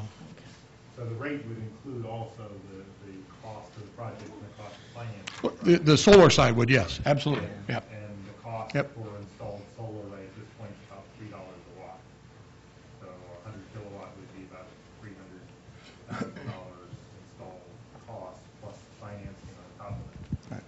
So just for, for scale, about the amount of money you have to have. Yeah, Uh, On the previous slide and this slide, you said ongoing operation and maintenance. And I have solar panels, one of the selling points is there's virtually no ongoing Right. operation and maintenance costs. but there can be. Well, it could be. Yeah. And you also said you wouldn't know which panel was broken on the previous version. And on my panels, I have an inverter on every panel, and I can look and see which panel is operating. Yeah, see, and you, you don't typically in the larger scale have that situation where every panel has a single inverter. You usually have a group of panels on an inverter, and, and the problem is, uh, uh, the point I was trying to make is if it's not tied, if all of that isn't tied to that particular customer owner, well, then how do I split it up? You know, that, that's where the complication comes. Yeah, let's get through these last couple. Uh, Let's talk about the third-party PPA. Again, as I said before, this is a case where you've got a- an independent developer who is going to own and and build the project, and, you know, in in this case, we're kind of assuming anyway for discussion on a village site. Obviously, the advantage is there's no capital investment for either the customer or the village. Um, So uh, neither one of them are going to have to make any capital investment. Uh, But, uh, and that, developer should qualify for the 30 30% tax credit as well as depreciation tax benefits. Those developers who built projects in those communities that I mentioned earlier have have all taken advantage of both the tax credit or grants, as well as the- they're now taking advantage of the depreciation uh, tax benefits, which are pretty, uh, pretty lucrative for them. Um, Another advantage would be that uh, you hopefully could get a fixed energy rate for the term of the, of the power purchase agreement. And they're typically 20 to 25 years. Um, So you would really kind of know what, what that price is going to be. Instead of based on actual cost of the village, you'd actually know in the contract uh, what that, what that number is going to look like. Um, Again, the village has a site available, as we understand. Uh, Like the other, the rest of these are pretty much the same as village-owned. Customers can subscribe for actual usage. You know, again, less complicated billing, uh, no surplus or panel uh, failure issues. So I I guess the the downside to this we see, and we've got this with clients who have these projects for themselves, is the risk of a third-party default. You know, so you want to make sure if you're dealing with a third party, that it's somebody that's reputable, somebody that's financially, uh, you know, in- you know, in good shape. Um, And in fact, in those contracts, we typically require the uh, third party to also post credit or uh, surety. Uh, So if something goes wrong and we have to remove the system, you know, uh, we can get that done as well. So, so that's probably the biggest risk that we see to this approach. Um, But certainly, and again, there are certainly other advantages and disadvantages to this, but that's, uh, you know, some of the key ones that we see. The Energy Board looked at this particular option, uh, all the research we did saw that, that there were no developers that were interested in the size I- arrays. Usually a half a megawatt or above. I, I would agree with that, but we're finding that to change. Uh, We've got, we got a couple developers right now in, the- in the state, uh, one of which has panels that if he doesn't do something with them, he's going to lose his tax credits. He already bought them. And he's got to get them placed somewhere. And so there are, I think there's a potential for that. But, but yeah, 100 kilowatts might be a push, but 500 kilowatts where maybe the village assigns some of it to community solar and the rest is a, a village project is, is probably doable, so. And, and some pretty attractive prices as well, I might say. Uh, Probably lower cost than what you're going to see in this next option with AMP, or lower cost possibly than if you do it yourself, so. Uh, And that's primarily because they take advantage of all those tax benefits that you and, uh, and unfortunately AMP cannot. Um, On the AMP Community Solar, again, a lot of the same advantages that you saw with, uh, you know, with the other two, prior two. Uh, Again, no capital investment for the customers of the village. Um, And AMP does have tax exempt financing. They are, uh, just like their other projects, could issue this uh, or finance this tax exempt. Um, The energy rate would be based on AMP's actual cost. So uh, whatever those costs end up being, and that's similar to what you have in your other power purchase agreements with AMP. Um, And again, I think the rest of these are all pretty much the same as what we saw in the prior ones. You know, the disadvantage of this approach, we don't really see the risk of default. I mean, if AMP defaults, we got bigger problems. It's just a solar, 100 kilowatt solar project. Uh, So I guess you're already in, you're already in bed with them, you know? Um, Another 100 kilowatts of solar isn't going to make a whole lot of difference. Um, But, you know, again, the, the- probably the biggest disadvantage for AMP is they don't qualify for the tax credits, uh, although they're trying to figure out a way to do that, and I'm not sure if they're going to figure out a way to do that, but um, pretty hard to have a tax exempt entity get tax credits and get tax exempt financing, but, uh, hey, I've seen lawyers do crazy things, so. Uh, But anyway, that's, that's kind of our, uh, you know, our summary on the uh, solar, uh, community solar option. And Again, there are other options as well that could, combinations of these or, or different uh, versions, so. Okay, great. Thank you so much. Are any other questions, citizens? I mean, we've been having kind of a give and take, so hopefully everybody has had their questions answered. Any council questions Not for right now. John? Obviously, if we get questions, we can all email, Absolutely. email you or If talk we, to let's, Patty let's or walk, Johnny. let's, let's take questions through Patty to Yeah, I- I mean, I John. noticed that we have several people from the Energy Board, and so I'm wondering if they either have questions or comments on this Oh, presentation. I see that Pat has her hand up. Can you come up to the non-existent microphone? Here, you can share it with you. Thanks for, Thank you. thanks to all the citizens for Thank sitting you. through this Um, long yeah, I- presentation, lots of details. It, it's a totally different trajectory.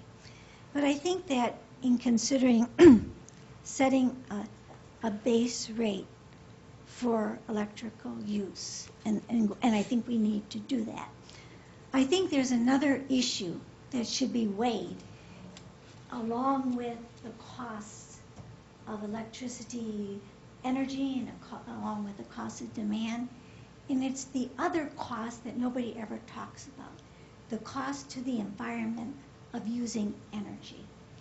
And I think that we need to think about how we can put this in as we make rates for electrical use. Um, Three years ago, when we were looking at electrical rates, I, I found on the internet the um, way in which Dallas, Texas had charged rates for electricity to its now, we're here, they were talking about residents, they weren't talking about commercial. And rather than taxing at a higher rate for a less use and a lower rate for a higher use, they did the reverse. And so the less electricity you used, and they had it in, I think it was a three or five tier uh, scale, the less electricity you used, the less you paid. And the more electricity you used, the more you paid. And what it was looking at was not those demand costs, those all are figured in, but rather the other cost that's never mentioned, the cost to the environment by us using more and more and more energy. How do we give carrots and sticks to people who use electricity? Uh, if we have big houses, we use more electricity. If we use more electricity, we pay less. If we have a small house, we use less electricity and we pay more. Now, I know, I understand what Dave is saying in terms of the cost and all, but there's another cost that's never figured in. And it's the cost that we are doing to our children and to our grandchildren and to society by using more and more fossil fuels. Or even, even hydroelectric, which is using, every one of our, including solar, we're all using energy of some form. Hopefully our green alternative energies are using less than others, and hope, hopefully a lot less. But there's always a cost, and I think we need to begin to look at that other cost as we begin to study how we want to change rates. I think it's a very important consideration to use. I don't know how to do that, but I do know three years ago I went on the internet because I was sort of interested when I thought we were going to look at rates. And I thought, oh, I wonder if anybody's doing that. And I did notice back then, and this was three years ago, that Dallas, the city of Dallas, did, uh, had a rate that was based on actually the reverse of what we're using. I Okay, just Thanks, thought it was Pat. a- Thanks, Pat. Thanks, Pat. Sorry. And can you give your last name, I'm sorry? Uh, Brown. And can you give your name, please, sir? Yes, thank you.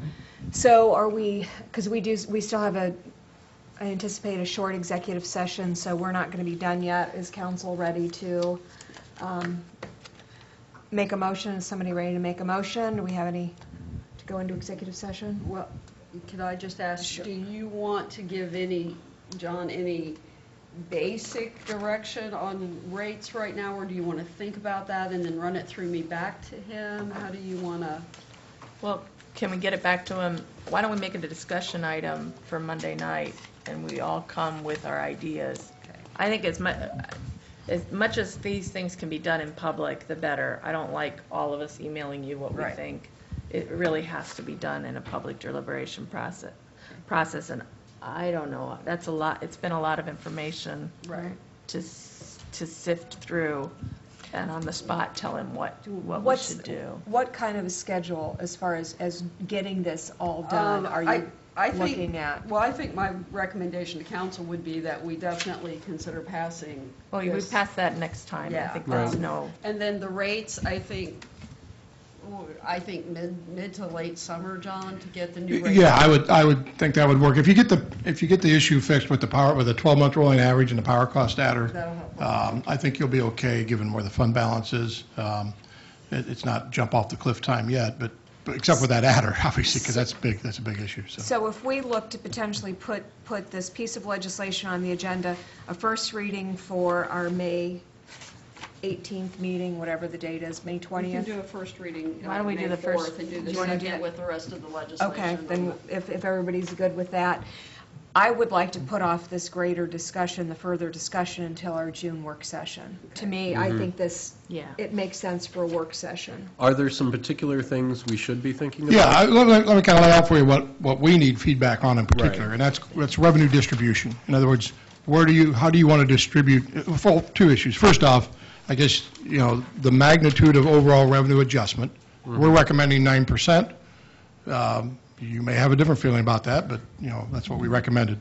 Um, And secondly is, Nine percent would be, like, right now, we, we're charging ten dollars.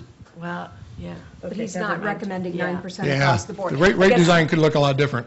Um, Yeah. the- the- So the overall magnitude of the, of the adjustment, and then how do you spread that amongst the classes, or what we call revenue distribution? How do you distribute that, adjust that re- increase between residential, commercial, you know, and, and uh, large power classes? Right. And then, once we have that information, then we can go back and work on rate design to meet those target revenue numbers and come back to you with some rate design suggestions. And i- in all honesty, I, I, I hear what you're saying about the inverted rates. Um, The problem, and I, and I'm not saying it's not a bad idea, the problem is going from where you are to, to where you may want to get to may take some time. Um, That's why what we've been seeing clients do is to shrink those blocks and actually maybe even just go to a flat rate for now, which kind of moves you somewhat in that direction. So at least people feel a little more blunt of, you know, of using more. Um, And, and then somewhere down the road, you know, maybe look at that other option. But, uh, but yeah, get us the revenue distribution kind of numbers and then we can come So back with some rates for you. so. We could say, in five years, we'd like to be at a place where, where there might even be a penalty for, Right. for residential use Sure you could. only. Mm-hmm. And will you be looking at, at how we go forward from here in, into the future, making recommendations for how we potentially adjust rates into the future? Yeah, and we- and we'll probably, most likely, talk about some sort of a phase-in on some of these, because uh, in particular, what we're going to, I can tell you right now, we're going to come back and tell you, raise customer charges from that roughly $3 implied in the minimum to a much higher number. And again, you're not going to be able to do that overnight, because that small user is going to see some real high impact. So, so there's always the transition. As I, as I tell people, rate design isn't a science, it's an art. And it's trying to transition from where you are to where you'd like to get to, but do it without having significant impacts on any customers.